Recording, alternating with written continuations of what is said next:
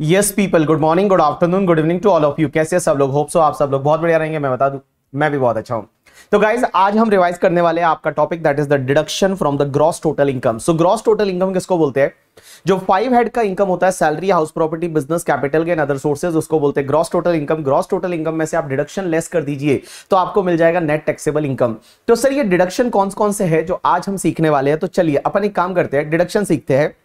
इसमें दो चीज़ें ध्यान रखना। पहली चीज़ तो आपका डिडक्शन कभी भी आपके जीटीआई से ज़्यादा नहीं हो सकता। जैसे मान लो कोई एसएससी ऐसा है, जिसका ग्रॉस टोटल इनकम है, वो फाइव लैख है तो गाइज़ उसमें से डिडक्शन मैक्सिमम फाइव लैख ही हो सकता है। मिस इन सिंपल वर्ड आपका ग्रॉस टोटल इनकम है, उससे ज़्यादा कभी भी डिडक्शन नहीं हो सकता। अगर डिडक्शन एक्सेस है तो क्या उसको कैरी फॉरवर्ड करके अगले साल सेट आउट कर सकते हैं? आंसर इज़ नो आप ऐसा नहीं कर सकते हैं। और दूसरी चीज़ ध्यान रखना, जो डिडक्शन होता है ना वो आपको स्पेशल रेट्स की इनकम के सामने नहीं मिलता। मीन्स जो भी आपका long term capital gain one one two है जो शेयर मार्केट वाला होता है, या लॉन्ग टर्म कैपिटल गेन जो ट्वेंटी परसेंट वाला होता है, या short term capital gain triple one A वाला होता है, या फिर कोई भी स्पेशल रेट का इनकम है, जैसे आपका विनिंग का इनकम है जो लॉटरी से विनिंग होती है that is the thirty percent से टैक्सेबल होता है, या फिर ऑनलाइन गेम से जो विनिंग होती है, वो भी आपका थर्टी परसेंट से टैक्सेबल होता है। तो क्या उसके सामने आप डिडक्शन ले सकते हैं? आंसर इज़ नो उसके सामने आपको कोई भी डिडक्शन का बेनिफिट नहीं मिलेगा।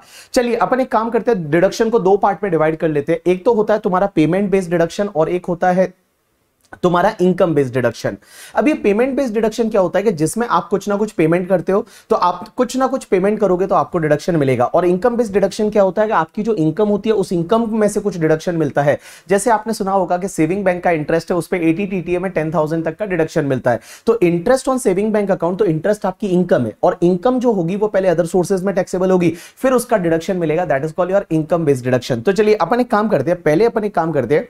सबसे पहले हम पेमेंट रिलेटेड डिडक्शन है, उसकी बात करते हैं। और पेमेंट रिलेटेड डिडक्शन में सबसे पहला deduction that is the eighty C का स्पेसिफाइड इन्वेस्टमेंट ये बड़ा ही फ़ेमस डिडक्शन है एटीसी एटीसी में सर एक बात बताइए, सबसे पहले ये डिडक्शन किसको मिलेगा? गाइस ये डिडक्शन सिर्फ़ इंडिविजुअल एंड एचयूएफ को मिलता है। सर वो इंडिविजुअल एचयूएफ रेजिडेंट होना चाहिए? नहीं। रेजिडेंट नॉन रेजिडेंट कोई भी हो, उससे फ़र्क नहीं पड़ता। इंडिविजुअल एचयूएफ को एटीसी का डिडक्शन मिलेगा। इसमें मैक्सिमम डिडक्शन आपको वन लाख फिफ्टी थाउज़ेंड मिल सकता है। लेकिन क्वेश्चन ये आता है कि हमको स्पेसिफाइड इन्वेस्टमेंट तो इन्वेस्टमेंट कहाँ कहाँ पे करना है? तो सबसे पहले आप एक काम करो लाइफ इंश्योरेंस पॉलिसी ले लो ना।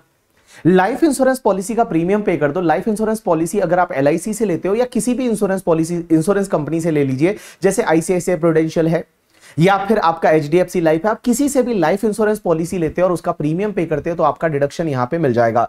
लेकिन पॉलिसी किसके लिए लेनी है? अगर इंडिविजुअल एसएससी है तो पॉलिसी खुद के लिए स्पाउस के लिए, या फिर चिल्ड्रन के लिए लेनी है। एंड अगर मान लो एच है तो एच के केस में किसी भी मेंबर के लिए जो लाइफ इंश्योरेंस पॉलिसी एच ले सकता है। एक और चीज़ समझना, यहाँ पे लिखा हुआ है एसएससी जो है, वो अगर इंडिविजुअल है तो खुद के लिए स्पाउस के लिए चिल्ड्रन के लिए, किसी के भी लिए चिल्ड्रन मैरिड है अनमेरिड है, उससे कोई फ़र्क नहीं पड़ता। चिल्ड्रन माइनर है नॉन माइनर है, उससे कोई फ़र्क नहीं पड़ता। आप अगर चिल्ड्रन के लिए लाइफ इंश्योरेंस पॉलिसी लेते हैं, उसका प्रीमियम पे करते हैं, आपको डिडक्शन मिल जाएगा। लेकिन इसमें एक चीज़ समझना, यहाँ पे एक लिमिट होती है प्रीमियम की क्या प्रीमियम आपका लिमिट से ज़्यादा नहीं होना चाहिए। अगर ज़्यादा है तो एक्सेस वाले प्रीमियम का डिडक्शन नहीं मिलेगा। उसमें आपको यह देखना है कि पॉलिसी ली कब है। पॉलिसी अगर one four two thousand twelve से पहले ली है तो जितना भी आप प्रीमियम पे करोगे and that is restricted to twenty percent of the policy value policy value का मतलब होता है सम एश्योर्ड अगर कुछ होता है तो आपको कितना पैसा मिलेगा? That is called sum assured so premium paid और twenty percent of policy value which ever is lower है, उतना डिडक्शन मिलेगा। अगर policy one four two thousand twelve या उसके बाद में ली है तो यहाँ पे जितना आप प्रीमियम पे करोगे और ten percent of policy value which ever is lower का डिडक्शन मिलेगा। एंड अगर आपने policy one four two thousand thirteen या उसके बाद में ली है और वो हैंडीकेप्ट के लिए ली है, या फिर कोई person suffering from the disability है, उसके लिए ली है स्पेसिफाइड डिज़ीज़ है, उस पर्सन के लिए ली है तो यहाँ पे लिमिट हो जाएगी प्रीमियम पेड और fifteen percent of policy value which ever is lower अब एक बात समझना, इसके बाद लाइफ इंश्योरेंस पॉलिसी के बाद एक काम करो ना पीपीएफ में पैसा डाल दो। अगर आप पब्लिक प्रोविडेंट फंड में पैसा डालते हो, यहाँ पे डिडक्शन मिल जाएगा, लेकिन पब्लिक प्रोविडेंट फंड में पैसा किसके लिए डालना है? या इंडिविजुअल के केस में एसएससी खुद के लिए स्पाउस के लिए, या चिल्ड्रन के लिए, और एच के केस में किसी भी मेंबर के लिए? अब एक चीज़ समझना, जो एम्प्लॉय अपना कॉन्ट्रीब्यूशन करता है, जो एम्प्लॉय का खुद का कॉन्ट्रीब्यूशन होता है एसपीएफ में स्टेचुटरी प्रोविडेंट फंड में, या रिकॉग्नाइज प्रोविडेंट फंड में, या फिर अप्रूव सुपर एनुएशन फंड में, उसका एम्प्लॉय यहाँ पे एटीसी में डिडक्शन ले सकता है। अगर आपको सैलरी याद रहेगा तो सैलरी में मैंने बताया था कि एम्प्लॉय का कॉन्ट्रीब्यूशन अगर एसपीएफ में है आर आरपीएफ में अप्रूव सुपर एनुएशन फंड में तो वहाँ पे इग्नोर होता है एम्प्लॉय का खुद का कॉन्ट्रीब्यूशन बट एम्प्लॉय इसका डिडक्शन है, वो एटीसी में ले सकता है। या फिर आप एक काम करो ना नेशनल सेविंग सर्टिफिकेट में पैसा डाल दो एनएससी में पैसा डाल दो। अगर आप एनएससी में इन्वेस्ट करेंगे तो यहाँ पे डिडक्शन मिलेगा। और एक और चीज़ समझना एनएससी का तो जो इंटरेस्ट आता है ना, वो इंटरेस्ट पे भी डिडक्शन मिल जाता है। तो जैसे एनएससी में आपने इन्वेस्ट किया, इस साल वन लाख रुपीज़ तो वन लाख का आपको एटीसी में डिडक्शन मिलेगा। अगले साल मान लो, उस पर एट का आपको इंटरेस्ट मिला तो इंटरेस्ट को पहले आप अदर सोर्सेज में टैक्सेबल कर दो और उस एट थाउज़ेंड पे वापस से आप एटीसी में डिडक्शन ले लो तो एनएससी का इंटरेस्ट है, वो भी डिडक्टेबल होगा, होता है अंडर सेक्शन एटीसी अब एक चीज़ समझना, अगर आपने कोई भी हाउस प्रॉपर्टी परचेज करने के लिए या कंस्ट्रक्ट करने के लिए कोई लोन लिया है और लोन आपने या तो बैंक या फाइनेंशियल इंस्टीट्यूशन या किसी ट्रस्ट से लिया है तो ध्यान रखना। अगर आपने बैंक या फाइनेंशियल इंस्टीट्यूशन से कोई लोन लिया है, किसके लिए? रेसिडेंशियल हाउस प्रॉपर्टी को परचेज करने के लिए एंड कंस्ट्रक्ट करने के लिए तो उसका जो इंटरेस्ट का रीपेमेंट होता है ना इंटरेस्ट अगर आप पे करते हो, उसका डिडक्शन तो आपको 24 हाउस प्रॉपर्टी में मिल जाता है। लेकिन प्रिंसिपल का डिडक्शन है वो आप एटीसी में ले सकते हो तो प्रिंसिपल का डिडक्शन है वो आपको यहाँ पर मिल जाएगा। या फिर आप एक काम करो ना टैक्स सेवर एफडी में इन्वेस्ट कर दो। टैक्स सेवर एफडी का मतलब होता है कि किसी भी बैंक के साथ में या फिर पोस्ट ऑफ़िस के साथ में फाइव ईयर्स या उससे ज़्यादा की एफडी होती है, उसको हम टैक्स सेवर एफडी बोलते हैं। उसमें अगर आप इन्वेस्ट करोगे, आपको डिडक्शन मिल जाएगा। या फिर आप एक काम करो, अपने बच्चों का ट्यूशन फ़ीस पे कर दो। लेकिन मैक्सिमम यहाँ पे टू बच्चों का ट्यूशन फ़ीस है, उसका डिडक्शन मिलेगा और उनका फुल टाइम एजुकेशन होना चाहिए इंडिया में। तो अगर दो बच्चों का एजुकेशन फ़ीस के लिए, जो ट्यूशन फ़ीस पे करते हैं और उनका एजुकेशन इंडिया में हो रहा है तो ट्यूशन फ़ीस का डिडक्शन यहाँ पे पेरेंट्स ले सकते हैं। या फिर नाबार्ड के बॉन्ड्स खरीद लो।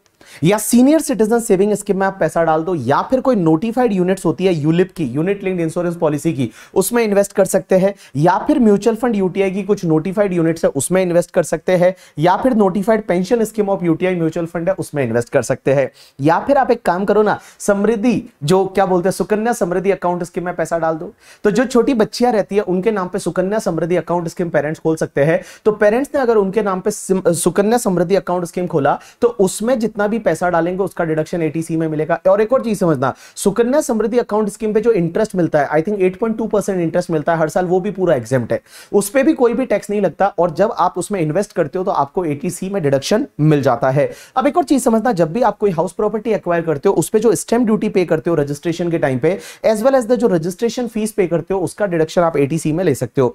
एक और पॉइंट ये बोलता है कि जो सेंट्रल गवर्नमेंट का एम्प्लॉय है और सेंट्रल गवर्नमेंट के एम्प्लॉय ने अगर specified account of the pension scheme referred under section eighty CCD में, जो टायर टू में अगर उसने इन्वेस्टमेंट किया तो उसका डिडक्शन एटीसी में मिलेगा। अब एक बात समझना एटीसीसीडी क्या होता है? अभी अपन पढ़ेंगे एटीसीसीडी न्यू पेंशन स्कीम होता है। तो न्यू पेंशन स्कीम में क्या होता है? एक तो होता है टायर वन और एक होता है टायर टू तो टायर वन में अगर कोई भी इन्वेस्टमेंट करेंगे, उसका एटीसीसीडी वन में डिडक्शन मिल जाएगा। लेकिन अगर सेंट्रल गवर्नमेंट का एम्प्लॉय है और उसने जो भी तुम्हारा न्यू पेंशन स्कीम है, उसके टायर टू में अगर इन्वेस्टमेंट किया तो उसका डिडक्शन यहाँ पे एटीसी में मिल जाएगा। उसके बाद अगर नेशनल हाउसिंग बैंक है, उसका कोई tax saving term deposit scheme में पैसा डालेंगे तो एटीसी में डिडक्शन मिल जाएगा। तो गाइज़ यहाँ पे कुछ ऐसे इन्वेस्टमेंट है, जहाँ पे अगर आप इन्वेस्टमेंट करते हो तो एटीसी में डिडक्शन मिलेगा इंडिविजुअल एच को, और मैक्सिमम लिमिट है वो वन हो जाएगी।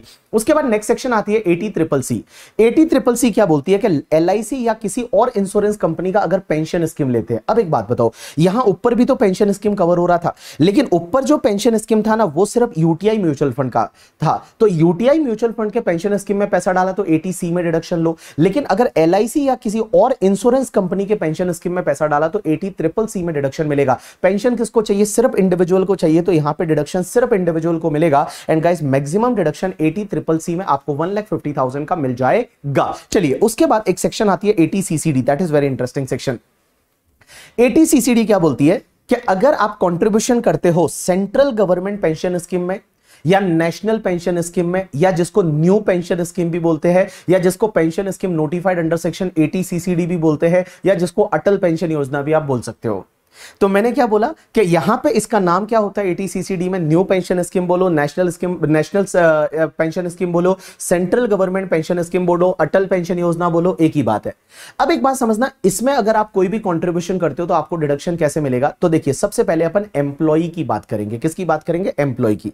एम्प्लॉय मतलब कोई भी बंदा कहीं पर जॉब कर रहा है दैट इज़ कॉल्ड एम्प्लॉय अगर सैलरी एम्प्लॉय जो होता है वो अगर खुद का जो कंट्रीब्यूशन करता है नेशनल पेंशन स्कीम में तो एम्प्लॉय को डिडक्शन मिलेगा अंडर सेक्शन 80 सीसीडी और डिडक्शन कितना मिलेगा पता है? जितना एम्प्लॉय ने कंट्रीब्यूशन किया और 10 percent of salary which ever is lower but salary में लेना है basic salary plus DA in terms DA in terms mean ऐसा डीए जो रिटायरमेंट बेनिफिट के लिए काम आने वाला है। तो देखो, सबसे पहले हम सीसीडी पढ़ रहे हैं। यहाँ पर सेंट्रल गवर्नमेंट पेंशन स्कीम की बात हो रही है, जिसको new pension scheme national pension scheme भी बोलते हैं, आप एनपीएस बोलेंगे। तो मैं इसको बार बार एनपीएस बोलूँगा एनपीएस अब एक बात समझना एनपीएस पेंशन किसको चाहिए? सिर्फ़ इंडिविजुअल को चाहिए तो ये डिडक्शन भी सिर्फ़ इंडिविजुअल को मिलेगा।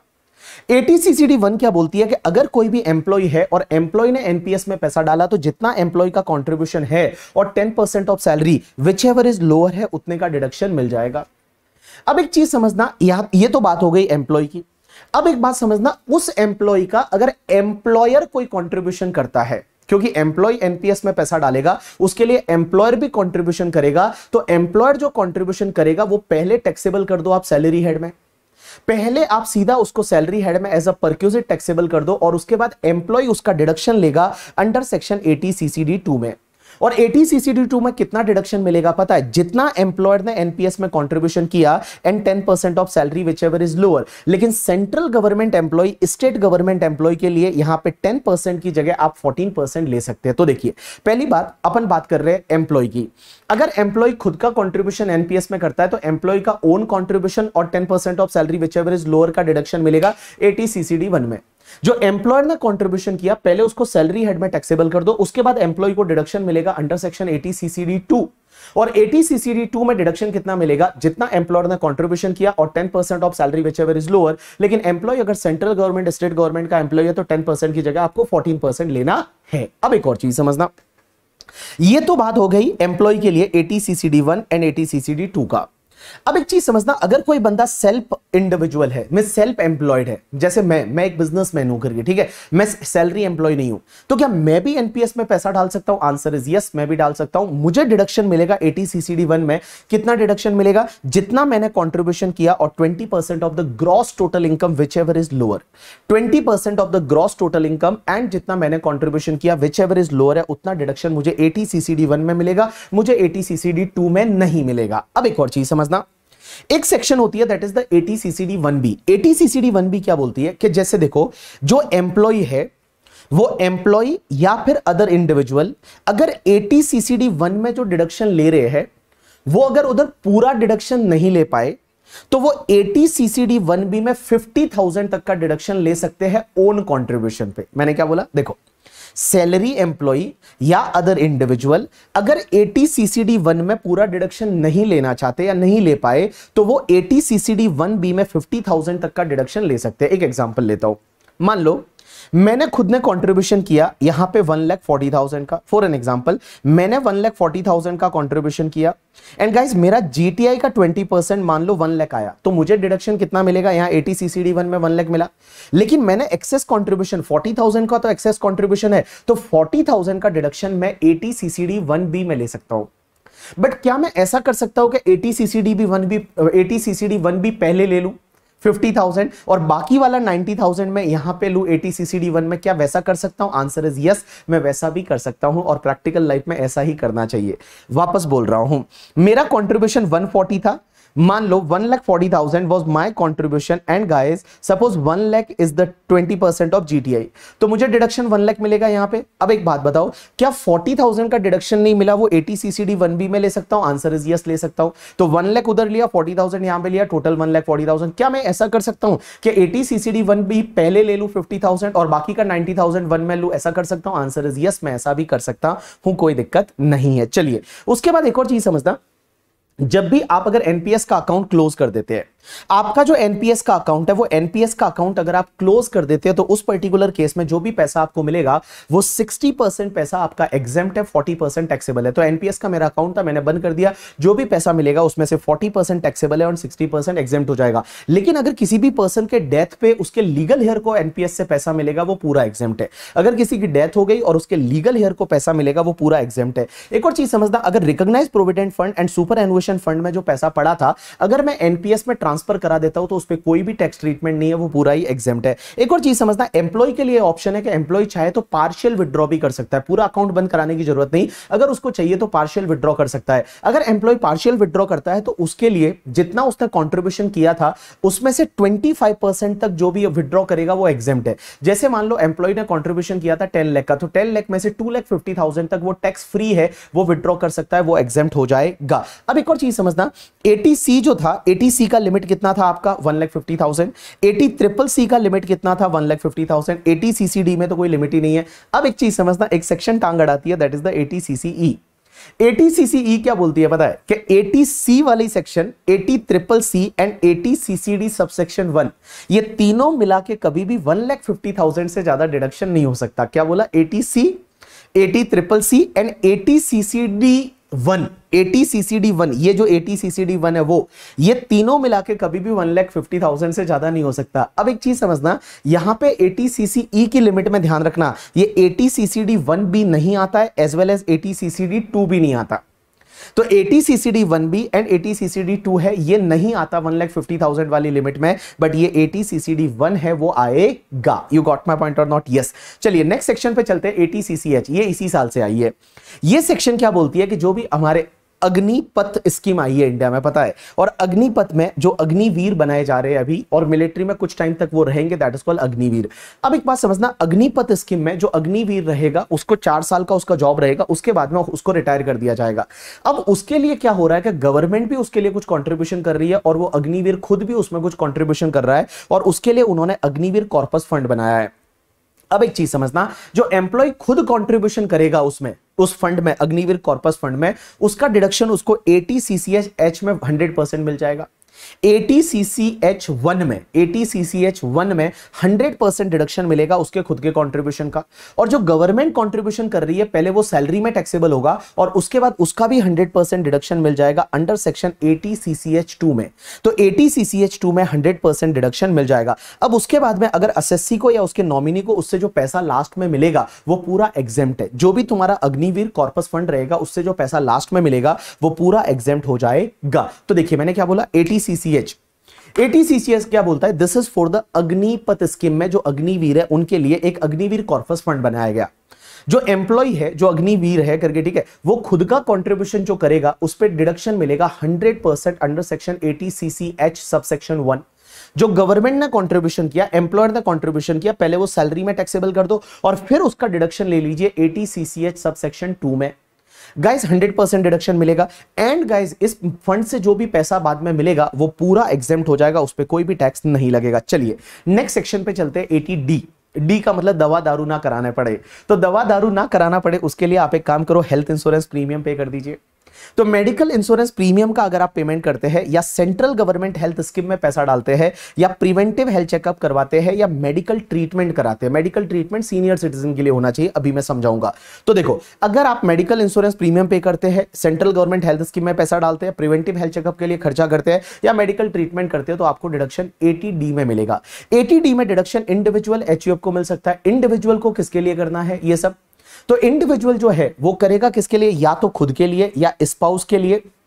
या पेरेंट्स के लिए एंड डिपेंडेंट चिल्ड्रन ध्यान रखना, यहाँ पे चिल्ड्रन के सामने वर्ड डिपेंडेंट यूज़ हुआ है। इस सेक्शन में चिल्ड्रन के सामने जो वर्ड है, वो डिपेंडेंट वर्ड यूज़ हुआ है डिपेंडेंट चिल्ड्रन तो देखो, अगर कोई इंडिविजुअल है, उसको हेल्थ इंश्योरेंस किसके लिए कराना है? या तो मैं जैसे मैं हूँ तो मेरे खुद के लिए, मेरी स्पाउस के लिए, मेरे चिल्ड्रन के लिए एंड मेरे पेरेंट्स के लिए मैं हेल्थ इंश्योरेंस वगैरह करा सकता हूँ। अगर मैं एच की बात करूँगा तो किसी भी मेंबर के लिए। अब एक और चीज़ समझना, इस सेक्शन में क्या होता है कि जो भी आप इंश्योरेंस प्रीमियम पे करते हो सेंट्रल गवर्नमेंट हेल्थ स्कीम में पैसा डालते हो, या मेडिकल ट्रीटमेंट वगैरह कराते हो, उसका पेमेंट जो है, वो any mode other than cash करना है। Any mode other than cash एक चीज़ ध्यान रखना, जहाँ पे भी any mode other than cash लिखा हुआ है ना तो यहाँ पे बियरर चेक से किया तो क्या चलेगा? चलेगा। क्रॉस चेक से किया तो क्या चलेगा? चलेगा।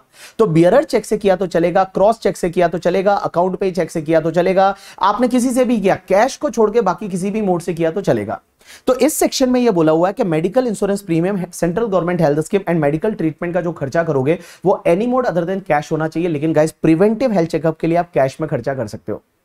प्रिवेंटिव हेल्थ चेकअप के लिए आप कैश में खर्चा कर सकते हो, लेकिन यहाँ इस सेक्शन में डिडक्शन कितना मिलेगा? तो देखो, सबसे पहले मैं मेरी बात कर रहा हूँ, मेरा एग्ज़ाम्पल लूँगा। मेरा खुद का मेरी स्पाउस का एंड मेरे डिपेंडेंट चिल्ड्रन का। इन तीनों का मिला के मेरा खुद का, मेरी स्पाउस का एंड मेरे डिपेंडेंट चिल्ड्रन का, हम तीनों का मिला के मैक्सिमम डिडक्शन में ट्वेंटी फाइव थाउज़ेंड का ले सकता हूँ। मैक्सिमम डिडक्शन में ट्वेंटी फाइव थाउज़ेंड का ले सकता हूँ, लेकिन मान लो मेरे और मेरे स्पाउस में से कोई भी सीनियर सिटीजन है और उसके लिए अगर हेल्थ इंश्योरेंस लिया है तो ये लिमिट ट्वेंटी फाइव थाउज़ेंड से इंक्रीज हो जाएगी और मुझे मैक्सिमम डिडक्शन फिफ्टी थाउज़ेंड हमारा मिल जाएगा। तो देखो नॉर्मली क्या, मेरा, मेरी स्पाउस का एंड डिपेंडेंट चिल्ड्रन का तीनों का मिला के maximum twenty five thousand but हम में से कोई सीनियर सिटीजन है तो लिमिट ट्वेंटी फाइव थाउज़ेंड से एनहांस हो जाएगी और टोटल फिफ्टी थाउज़ेंड का डिडक्शन मिल जाएगा। अब एक बात समझना, मैं मेरे पेरेंट्स के लिए अगर हेल्थ इंश्योरेंस कराता हूँ तो उसके लिए, उनके लिए मुझे एक्स्ट्रा डिडक्शन मिलेगा। पेरेंट्स में मदर और फादर आ जाएँगे। अब एक बात समझना, पेरेंट्स के लिए मुझे ट्वेंटी फाइव थाउज़ेंड का अलग से लिमिट मिलेगा। लेकिन पेरेंट्स में से कोई सीनियर सिटीजन है, उनके लिए अगर मैं हेल्थ इंश्योरेंस करा रहा हूँ तो वहाँ पर ट्वेंटी फाइव थाउज़ेंड से लिमिट बढ़ जाएगा और बेटा फिफ्टी थाउज़ेंड टोटल लिमिट हो जाएगा। तो देखो वापस बोल रहा हूँ। मेरे खुद के लिए मेरी स्पाउस के लिए मेरे डिपेंडेंट चिल्ड्रन के लिए मैक्सिमम 25,000 हम में से कोई सीनियर सिटीजन है तो 50,000 मेरे पेरेंट्स के लिए अलग से 25,000 और उनमें से कोई सीनियर सिटीजन है तो 50,000 अब एक चीज़ समझना यहाँ पे लॉ ये बोलता है कि अगर कोई भी सीनियर सिटीजन ऐसा है जिसके नाम पे हेल्थ इंश्योरेंस पॉलिसी नहीं है कोई ऐसा सीनियर सिटीजन है जिसके नाम पे हेल्थ इंश्योरेंस प्रीमियम नहीं पे होता हेल्थ इंश्योरेंस पॉलिसी नहीं है तो उसके लिए आप मेडिकल ट्रीटमेंट करा सकते हो और मेडिकल ट्रीटमेंट का डिडक्शन यहाँ पे ले सकते हो। जैसे मान लो मेरे पापा है, पापा के नाम पे हेल्थ इंश्योरेंस नहीं है तो मैं उनके लिए मेडिकल ट्रीटमेंट का डिडक्शन मैं एटीडी में ले सकता हूँ। लेकिन एक चीज़ ध्यान रखना कि यहाँ पे उसमें मैक्सिमम फिफ्टी का मेडिकल ट्रीटमेंट के लिए डिडक्शन ले सकते हो। लेकिन क्या फिफ्टी एडिशनल मिलेगा पेरेंट्स के लिए फिर मुझे, या ओवरऑल पेरेंट्स के लिए जो लिमिट फिफ्टी की रहेगी, वो उसी में आएगा? राइट आंसर जो ओवरऑल लिमिट पेरेंट्स के लिए फिफ्टी थाउज़ेंड की रहेगी, वो उसी में आएगा, ये एडिशनल नहीं है। जैसे फॉर एन एग्ज़ाम्पल मेरी मम्मी के लिए हेल्थ इंश्योरेंस पॉलिसी है, पापा के लिए हेल्थ इंश्योरेंस पॉलिसी नहीं है, और दोनों सीनियर सिटीजन है।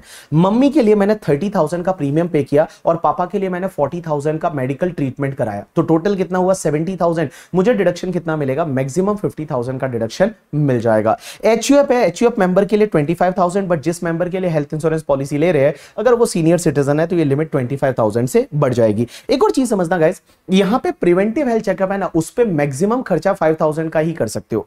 पहली चीज़ तो प्रिवेंटिव हेल्थ चेकअप पे खर्चा सिर्फ़ इंडिविजुअल कर सकता है और वो भी मैक्सिमम 5000 का ही कर सकते हो।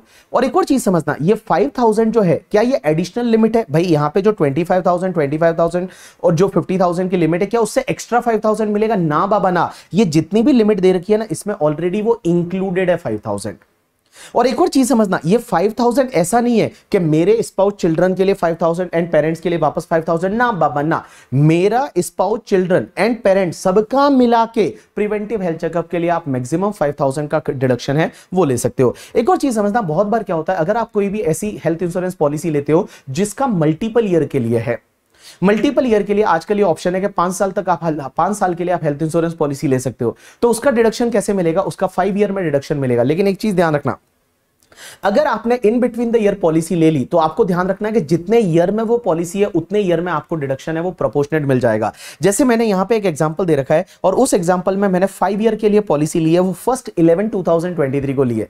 तो ये पॉलिसी मैच्योर कब होगी? थर्टी अक्टूबर टू तक। तो आप यहाँ पर अगर प्रीवियस ईयर देखोगे तो टोटल सिक्स प्रीवियस और हो जाएँगे, और यहाँ पर आपको सिक्स इंस्टॉलमेंट में डिडक्शन मिल जाएगा। चलिए नेक्स्ट सेक्शन पे चलते हैं एटीडीडी एटीडीडी क्या बोलती है? बताए कि अगर मान लो आपका कोई एचडीआर है एचडीआर का मतलब हैंडीकैप डिपेंडेंट रिलेटिव। अगर आपका कोई हैंडीकैप डिपेंडेंट रिलेटिव है, जिसको आप एचडीआर बोलोगे, अगर आपका कोई एचडीआर है और एचडीआर जो है, उसके लिए आप या तो ट्रीटमेंट करा रहे हो, या उसके लिए मेंटेनेंस के लिए कुछ पैसा आप इंश्योरेंस कंपनी वगैरह में कहीं पे जमा करा रहे हो। देखो, ये सेक्शन पहली चीज़ तो ये सेक्शन सिर्फ़ रेजिडेंट इंडिविजुअल एच के लिए है। एटीडी जो थी ना, वहाँ सिर्फ़ इंडिविजुअल एच लिखा था, लेकिन यहाँ पे लिखा हुआ है रेजिडेंट इंडिविजुअल एंड एच आपको करना क्या है कि अगर आपका कोई हैंडीकैप डिपेंडेंट रिलेटिव है एच है, अब आप बोलोगे रिलेटिव में कौन आएगा? आपके नियर एंड डियर इंडिविजुअल के लिए रिलेटिव कौन होता है? Spouse mother father brother sister and children तो spouse children mother father brother sister and वो आप पे अगर डिपेंडेंट है, वो आप पे क्या है? डिपेंडेंट है। एच के लिए any dependent member of the H और वो क्या है? हैंडीकैप्ड है। और आप क्या कर रहे हो? या तो उसके मेंटेनेंस के लिए कुछ खर्चा कर रहे हो या उसका कोई ट्रीटमेंट करा रहे हो, उसके नाम पे मान लो कहीं एल आई में कुछ इन्वेस्टमेंट कर रहे हो तो आपको डिडक्शन यहाँ पे एटीडी में मिल जाएगा। लेकिन गाइस यहाँ एटीडी में डिडक्शन कितना मिलेगा? यहाँ पे फ्लैट डिडक्शन है। अगर वो सीवियर पहली नॉर्मल डिसेबिलिटी है तो उस केस में सेवेंटी फाइव थाउज़ेंड का। एंड अगर सीवियर डिसेबिलिटी है, जिसमें 80 परसेंट और मोर की डिसेबिलिटी है तो वहाँ पे आपको one lakh twenty five thousand का डिडक्शन है, वो मिल जाएगा। इसमें आपने खर्चा कितना किया, वो इरेलीवेंट है। खर्चा मान लो आपने पाँच रुपया किया तो भी आपको डिडक्शन यहाँ पे सेवेंटी फाइव थाउज़ेंड या one lakh twenty five thousand का मिल जाएगा। एंड यहाँ पे गाइस वापस मैं बोल रहा हूँ कि यहाँ पे आपने एक्चुअल खर्चा कितना किया, उससे कोई मतलब नहीं है। आपने एक्चुअल खर्चा दस रुपए का किया तो भी आपको डिडक्शन सेवेंटी फाइव थाउज़ेंड या one lakh twenty five thousand का मिल जाएगा। तो एटीडीडी क्या होता है? आपका डिपेंडेंट जो है, वो डिसेबल ऐसा याद रखो डीडी मतलब डिपेंडेंट डिसेबल है, ठीक है? तो डिपेंडेंट डिसेबल है एच डी आर है हैंडीकैप डिपेंडेंट रिलेटिव है, उसके ट्रीटमेंट के लिए कोई खर्चा करते हो, उसके मेंटेनेंस के लिए वगैरह आप कोई खर्चा करते हो, आपको फ्लैट डिडक्शन मिलेगा सेवेंटी फाइव थाउज़ेंड का या one lakh twenty five thousand का। अब एक और चीज़ समझना नेक्स्ट सेक्शन आती है एटीडीडीबी एटीडीडीबी का मतलब होता है दिल दहला देने वाली बीमारियाँ। या जिसको आप डरावनी डरावनी बीमारियाँ बोल सकते हो। तो दिल दहला देने वाली बीमारियाँ, ये डिडक्शन मिलेगा, ये भी रेजिडेंट इंडिविजुअल एच को।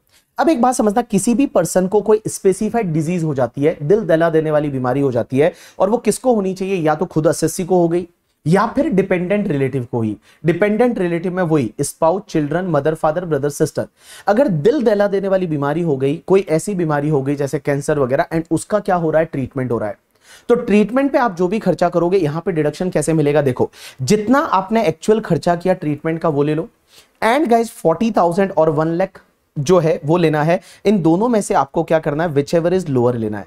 फोर्टी थाउज़ेंड नॉर्मल केस में, लेकिन पेशेंट अगर सीनियर सिटीजन है तो आप यहाँ पे वन लैख लोगे। तो देखो, जितना खर्चा किया एंड उसको कंपेयर करोगे फोर्टी थाउज़ेंड या वन लैख से whichever is lower whichever is lower जैसे मान लो फॉर एन एग्ज़ाम्पल मेरे रिलेटिव को कहीं पे स्पेसिफाइड डिज़ीज़ हो गई या मुझे हो गई तो मैंने क्या किया? मैंने उस पर खर्चा किया सेवेंटी थाउज़ेंड का।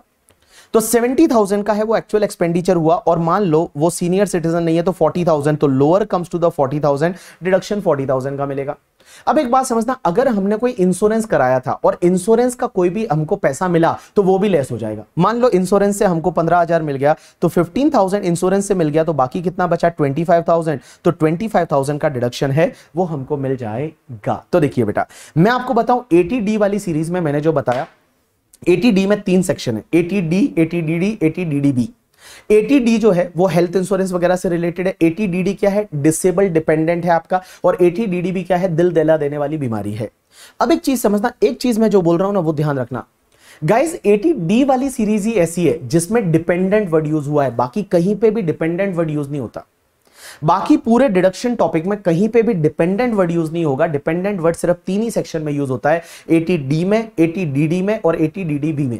एटी डी में डिपेंडेंट चिल्ड्रन लिखा है। एटी डी डी में डिपेंडेंट रिलेटिव लिखा है। डी बी में भी डिपेंडेंट रिलेटिव लिखा है। तो डिपेंडेंट वर्ड है ना, वो सिर्फ़ एटी डी की सीरीज़ में यूज़ हुआ है। बाकी कहीं पे भी आपका डिपेंडेंट वर्ड है, वो यूज़ नहीं हुआ। चलिए नेक्स्ट सेक्शन आती है एटी यू एटी यू क्या बोलती है? कि अगर कोई पर्सन हैंडीकैप्ट है अगर कोई रेजिडेंट इंडिविजुअल है और वो हैंडीकैप्ट है इसमें कुछ भी नहीं करना if any person is handicapped he can claim directly deduction 75,000 और one lakh twenty five thousand depends on the disability अगर नॉर्मल डिसेबिलिटी है सेवेंटी फाइव थाउज़ेंड का फ्लैट डिडक्शन है सीवियर डिसेबिलिटी है one lakh twenty five thousand का flat deduction है इसमें कुछ नहीं करना if any person is a handicap that person can claim the deduction seventy five thousand और one lakh twenty five thousand चलिए नेक्स्ट सेक्शन आती है एटी ई ई का मतलब होता है एजुकेशन अगर आपने कोई एजुकेशनल लोन लिया है एजुकेशन लोन लिया है हायर एजुकेशन के लिए।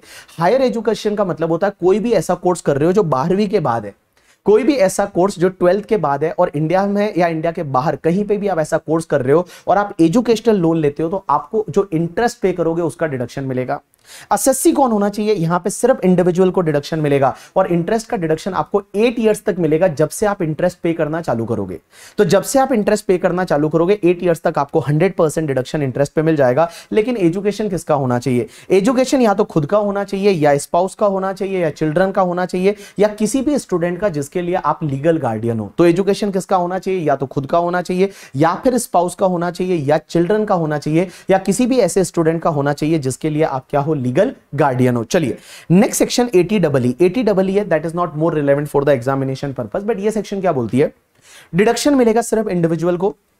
अगर आपने कोई हाउसिंग लोन लिया था, और वो हाउसिंग लोन का जो इंटरेस्ट है, उस इंटरेस्ट का फिफ्टी थाउज़ेंड तक यहाँ पे डिडक्शन ले सकते हो एटी डबल में। अगर आप चार कंडीशन सेटिस्फाइड करते हो देखो, आपने हाउसिंग लोन लिया और हाउसिंग लोन का इंटरेस्ट आप बोलोगे, सर इंटरेस्ट का डिडक्शन हाउसिंग लोन पे तो पहले तो 24 हाउस प्रॉपर्टी में मिलता है, वहाँ तो मिलेगा, लेकिन आपका वहाँ पे भी पूरा नहीं होता है। जैसे for an example your interest is two lakh sixty thousand in case of the self occupied property two lakh का डिडक्शन आप ऑलरेडी ले चुके हो हाउस प्रॉपर्टी में तो रिमेनिंग आप फिफ्टी थाउज़ेंड तक का डिडक्शन इस सेक्शन में ले सकते हो। अगर चार कंडीशन सेटिस्फाइड होती है, पहली कंडीशन लोन आपको बैंक या फाइनेंशियल इंस्टीट्यूशन से लेना है रेसिडेंशियल हाउस प्रॉपर्टी एक्वायर करने के लिए। सेकेंड कंडीशन यह है कि हाउस हाउस प्रॉपर्टी जो आपने परचेज किया था, वो उसका कॉस्ट फिफ्टी लैख से ज़्यादा नहीं होना चाहिए। थर्ड कंडीशन आपने जो लोन है, वो लोन आपका थर्टी फाइव लैख से ज़्यादा नहीं होना चाहिए। एंड फोर्थ कंडीशन आपका जो लोन सेंक्शन हुआ था, वो प्रीवियस ईयर 16 17 में हुआ था। मीन फ्रॉम फ़र्स्ट अप्रैल 2016 से लेके 31 मार्च 2017 के बीच में आपका लोन सेंक्शन हुआ था। एंड लास्ट कंडीशन यह है कि एसएससी के पास एक भी हाउस प्रॉपर्टी नहीं है। एक भी हाउस प्रॉपर्टी नहीं है जिस दिन लोन सेंक्शन हुआ था। अगर ये पाँच कंडीशन अगर आप सेटिस्फाइड कर लेते हो तो आप 50,000 तक का इंटरेस्ट का डिडक्शन एटी डबल में ले सकते हो। तो देखिए एटी डबल क्या बोलता है? पहली चीज़ तो ये डिडक्शन सिर्फ़ इंडिविजुअल को मिलेगा। मैक्सिमम डिडक्शन यहाँ पे पचास का मिलेगा। अब एक चीज़ समझना यहाँ पे कंडीशन क्या है? लोन बैंक फाइनेंशियल इंस्टीट्यूशन से रेसिडेंशियल हाउस प्रॉपर्टी के लिए लेना है। दूसरा कंडीशन क्या है? हाउस प्रॉपर्टी की कॉस्ट है वो 50 लाख से ज़्यादा नहीं होनी चाहिए। लोन 35 लाख से ज़्यादा नहीं होना चाहिए। हाउस प्रॉपर्टी के लिए जो लोन ले रहे हो, उसका सेंक्शन है वो 16 17 प्रीवियस ईयर में होना चाहिए। एंड गाइस जिस दिन लोन सेंक्शन हुआ, उस दिन ये आपका, आपके पास एक भी घर नहीं होना चाहिए। This is your first house तो उस पर्टिकुलर केस में आप हर साल फिफ्टी फिफ्टी का डिडक्शन यहाँ पे ले सकते हैं। अगर आप इंटरेस्ट उस साल में पे कर रहे हैं तो। चलिए, उसके बाद एक सेक्शन आती है एटीई ये सेक्शन को याद रखना है। ये सेक्शन बोलती है कि अगर आपने रेसिडेंशियल हाउस प्रॉपर्टी एक्वायर की एंड उसके लिए अगर आपने कोई लोन लिया तो लोन का इंटरेस्ट का डिडक्शन यहाँ पे आप वन लाख फिफ्टी थाउज़ेंड तक ले सकते हैं। ऑब्वियसली टू लाख का आप हाउस प्रॉपर्टी में लेंगे सेल्फ ऑक्यूपाइड देखो, अगर मान लो डीएलओपी है या एलओपी है तो तो पूरा इंटरेस्ट हाउस प्रॉपर्टी में ही अलाउ हो जाता है। अगर एलओपी डीएलओपी है तो पूरा इंटरेस्ट हाउस प्रॉपर्टी में ही अलाउ हो जाता है। एसओपी के केस में टू लाख वहाँ पे होगा, बाकी वन लाख फिफ्टी थाउज़ेंड तक। आप यहाँ पे डिडक्शन ले सकते हैं, अगर आप ये पाँच कंडीशन सेटिस्फाइड करते हैं। चार पाँच कंडीशन है। पहली कंडीशन यह है लोन आपको बैंक और फाइनेंशियल इंस्टीट्यूशन से लेना है। सेकेंड कंडीशन यह है कि जो आपने घर एक्वायर किया, उसका स्टेम ड्यूटी वैल्यू 45 लाख से ज़्यादा नहीं होना चाहिए। जो घर आपने एक्वायर किया, उसका स्टेम ड्यूटी वैल्यू 45 लाख से ज़्यादा नहीं होना चाहिए। आपका लोन जो प्रीवियस ईयर 1920 से लेके और 21 22 के बीच में सैंक्शन होना चाहिए मींस फ़र्स्ट अप्रैल 2019 से लेके 31 मार्च 2022 के बीच में आपका लोन सैंक्शन होना चाहिए। तो आपका थ्री इयर्स हो गया 19 to 20 21 22 so in three years में जो आपका लोन है, वो सेंक्शन होना चाहिए। एंड गाइस जिस दिन लोन सेंक्शन हुआ, उसके पास आपके और कोई प्रॉपर्टी नहीं होनी चाहिए। और कोई प्रॉपर्टी नहीं होनी चाहिए। This is the first property अगर ये चार कंडीशन सेटिस्फाइड करते हो तो आपको डिडक्शन यहाँ पे वन लाख फिफ्टी थाउज़ेंड का मिल जाएगा। तो देखिए एटीई क्या बोल रहा है? करके एटीई क्या बोलता है? कि पहली चीज़ ये सिर्फ़ इंडिविजुअल को मिलेगा? आपको वन लाख फिफ्टी थाउज़ेंड का इंटरेस्ट का डिडक्शन मिल जाएगा, लेकिन कंडीशन क्या है? लोन आपको बैंक या फाइनेंशियल इंस्टीट्यूशन से रेसिडेंशियल हाउस प्रॉपर्टी के लिए लेना है। दूसरी कंडीशन आपका H HDB of property 45 lakh से ज़्यादा नहीं होना चाहिए। 1920 से लेके और 21 22 में आपका लोन सेंक्शन होना चाहिए और जिस दिन सेंक्शन हुआ, उस दिन आपके पास और कोई घर नहीं होना चाहिए। अगर ये ऑल कंडीशन सेटिस्फाइड हो जाती है तो आप वन लाख फिफ्टी थाउज़ेंड तक इंटरेस्ट का डिडक्शन एटीई में ले सकते हो। नेक्स्ट सेक्शन एटीई बी आती है। ये सेक्शन क्या बोलती है? Deduction in respect of the interest on the electric vehicle अगर आप ईवी e लोन लेते हो देखो आज ईवी e का जमाना है तो ईवी e के लिए अगर आप इलेक्ट्रॉनिक व्हीकल से रिलेटेड कोई लोन लेते हो और इंडिविजुअल असेसी है तो वन लाख फिफ्टी थाउज़ेंड का इंटरेस्ट का डिडक्शन यहाँ पे मिल जाएगा। अब एक बात बताओ जो लोग बिज़नेस वाले होते हैं और बिज़नेस के लिए अगर मान लो व्हीकल यूज़ हो रहे तो, तो वो ऐसे भी पीजीबीपी के में ले लेंगे। ये बाकी वाले जो लोग हैं जो बेचारे सैलरी एम्प्लॉय वगैरह होते हैं तो उन्होंने अगर इलेक्ट्रिक व्हीकल खरीदा और वो लोन लेके खरीदा तो इलेक्ट्रिक व्हीकल का जो इंटरेस्ट रहेगा इस इंटरेस्ट का डिडक्शन यहाँ पे आपको वन लाख फिफ्टी थाउज़ेंड तक मिल जाएगा। लेकिन कुछ कंडीशन है। पहली कंडीशन यह है कि जो लोन है वो किसी बैंक से लेना है फाइनेंशियल इंस्टीट्यूशन से लेना है इंक्लूडिंग द एनबीएफसी यहाँ पे एनबीएफसी से लिया तो भी चलेगा। यहाँ स्पेसिफिकली बोला है कि आप बैंक से लेते हो, किसी फाइनेंशियल इंस्टीट्यूशन से लेते हो इंक्लूडिंग द एनबीएफसी आपने एनबीएफसी से लिया तो भी चलेगा। दूसरी कंडीशन जो लोन सेंक्शन होना चाहिए वो वन फोर 2019 से लेकर थर्टी फ़र्स्ट मार्च 2023 के बीच में सेंक्शन होना चाहिए। मीन ये चार साल में लोन सेंक्शन होना चाहिए 1920 उसके बाद 2021, 21, 22, 22, 23 ये चार साल में आपका लोन सेंक्शन होना चाहिए। एंड गाइस डिडक्शन आप इंटरेस्ट का सिर्फ़ यहीं पे ले सकते हो। अगर और डिडक्शन ऑलरेडी कहीं ले चुके हो जैसे पीजीपीपी वगैरह में तो फिर इंटरेस्ट का यहाँ पे आपको डिडक्शन नहीं मिलेगा। उसके बाद नेक्स्ट सेक्शन आती है एटी जी जी का मतलब होता है डोनेशन जी थोड़ी रेस्पेक्ट देनी चाहिए डोनेशन अब एक बात समझना एटी जी वाली सेक्शन क्या बोलती है कि आप अगर डोनेशन देते हो तो आपको डिडक्शन मिलेगा। पहली चीज़ तो ये सेक्शन है वो ऑल एसएससी पे है। इंडिविजुअल एचयूएफ कंपनी पार्टनरशिप हम सबके लिए है। अब एक बात समझना, इसमें दो कैटेगरी होती है। एक तो होती है तुम्हारी अनलिमिटेड कैटेगरी और एक होती है तुम्हारी लिमिटेड कैटेगरी अनलिमिटेड कैटेगरी का मतलब होता है कि आपकी जितनी मर्ज़ी है उतना डोनेशन दो। अगर आपने पाँच करोड़ का डोनेशन दिया और हंड्रेड परसेंट में आता है तो पूरे पाँच करोड़ का डिडक्शन मिलेगा। If you donated one crore and if it is covered in the hundred percent पूरे वन करोड़ का डिडक्शन मिलेगा। If it is covered in the like fifty percent वाले में आ रहा है, मान लो unlimited category but fifty percent वाले में आ रहा है तो जितना आप डोनेट करोगे, उसका फिफ्टी परसेंट डिडक्शन मिल जाएगा। जैसे टू करोड़ का डोनेशन दिया तो वन करोड़ का डिडक्शन मिल जाएगा। अब अपन बात करते हैं अनलिमिटेड कैटेगरी कौन कौन सी है। तो देखिए अनलिमिटेड में मतलब डोनेशन पे कोई लिमिट ही नहीं है। अनलिमिटेड कैटेगरी में गाइस यहाँ पे अगर मैं अनलिमिटेड कैटेगरी में 100 परसेंट की बात करूँ तो देखिए नेशनल डिफेंस फंड को डोनेशन करते हैं prime minister national relief fund में डोनेशन करते हैं prime minister Armenia earthquake fund में पैसा डालते हैं सीएम रिलीफ फंड सीएम कोई भी हो सकता है, गुजरात सीएम दिल्ली सीएम कोई भी सीएम करके, ठीक है, बिहार सीएम या फिर एलजी रिलीफ फंड करके, जो लेफ्टिनेंट गवर्नर रिलीफ फंड है, उसमें पैसा डालते हैं। जिला साक्षरता समिति में नेशनल स्पोर्ट्स फंड में नेशनल चिल्ड्रन फंड में नेशनल कल्चरल फंड में स्वच्छ भारत कोष में क्लीन गंगा फंड में national fund for control of drug abuse या फिर आपका पीएम केयर फंड में पीएम केयर फंड में, या फिर कोई आर्मी से रिलेटेड फंड है, उसमें अगर आप पैसा डालते हैं ना तो आपको हंड्रेड डिडक्शन मिल जाएगा और अनलिमिटेड अनलिमिटेड मीन कितना भी डोनेशन कर सकते हैं, कोई प्रॉब्लम नहीं, कितना भी डोनेशन कर दे सकते हैं अनलिमिटेड कैटेगरी में आपको डिडक्शन मिल जाएगा। अब इसको कैसे याद रखेंगे? आपको मैं बताऊँ, बड़ा सिंपल है। ध्यान रखना। एंड यहाँ पे एक सेकंड रुकना। देखिए अनलिमिटेड हंड्रेड परसेंट उसके बाद अनलिमिटेड आपका फिफ्टी परसेंट जो है, उसमें एक ही बचा है। पहले यहाँ पे इंदिरा गांधी, राजीव गांधी हुआ करते थे, वो सब हटा दिए मोदी जी ने, बोला, भागो करके ठीक है, उनको हटा दिया। तो यहाँ पे पीएम ड्रॉट रिलीफ फंड है, उसमें 50 परसेंट डिडक्शन मिलेगा अनलिमिटेड अब एक चीज़ समझना इधर देखना सब लोग। आप इसको ऐसे याद रखो कि देखो जहाँ जहाँ पे नेशनल आता है जहाँ जहाँ पे पीएम आता है जहाँ जहाँ पे सीएम आता है क्लीन गंगा फंड आता है, जिला साक्षरता समिति आता है करके, ठीक है, या national fund for drug abuse या आर्मी वाले फंड आते हैं hundred percent unlimited and guys एक ही है, सिर्फ़ prime minister drought relief fund drought drought drought का मतलब सूखा पड़ गया। अगर एक बात बताओ, कोई पीएम बना और पीएम पड़ा और सूखा पड़ गया तो 50 परसेंट डिडक्शन देने का कितना? 50 परसेंट तो देखिए, मैं बताऊँ prime minister drought relief fund है, उसमें 50 परसेंट अनलिमिटेड बाकी कहीं पे भी पीएम आता है, कहीं पे भी सीएम आता है, कहीं पे भी एलजी आता है, कहीं पे भी नेशनल आता है, जिला साक्षरता समिति आता है, स्वच्छ भारत कोष आता है, या फिर national fund for control drug abuse आता है, या आर्मी से रिलेटेड कोई भी फंड आता है हंड्रेड डिडक्शन देने का। तो देखिए, मैंने क्या बोला? जहाँ जहाँ पीएम आता है, जहाँ जहाँ नेशनल आता है, जहाँ जहाँ सीएम आता है, स्वच्छ भारत कोष क्लीन गंगा फंड जिला साक्षरता समिति एंड गाइस आर्मी से रिलेटेड फंड है, यहाँ पे आपको 100 परसेंट अनलिमिटेड डिडक्शन मिलेगा। एंड एक ही बचा है 50 परसेंट में। कौन सा? Prime minister drought relief fund है, उसमें 50 परसेंट अनलिमिटेड डिडक्शन मिलेगा। मीन आपने पाँच करोड़ का डोनेशन दिया तो आपको ढाई करोड़ का डिडक्शन मिल जाएगा। अब एक कैटेगरी आती है, जिसको बोला जाता है limited category limited category mean यहाँ पे डोनेशन पे कुछ लिमिट्स है। लिमिटेड कैटेगरी का मतलब होता है कि यहाँ पे डोनेशन पे कुछ लिमिट्स है। अब लिमिट्स क्या है वो अपन देखेंगे करके, ठीक है? तो देखो, लिमिटेड कैटेगरी में दो चीज़ें हैं।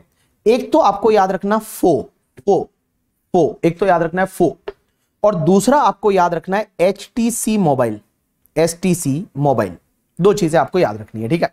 एक तो याद रखना है फो और एक रखना है एस टी सी मोबाइल। फो का मतलब होता है, एफ़ का मतलब आपने फैमिली प्लानिंग के लिए अगर गवर्नमेंट को या लोकल अथॉरिटी को या अप्रूव्ड इंस्टीट्यूशन को डोनेशन दिया तो देखो, आप गवर्नमेंट को लोकल अथॉरिटी को अप्रूव्ड इंस्टीट्यूशन को प्रमोशन ऑफ़ फैमिली प्लानिंग के लिए डोनेशन देते हैं तो वो 100 परसेंट डिडक्शन मिलेगा बट वो लिमिटेड कैटेगरी में आएगा।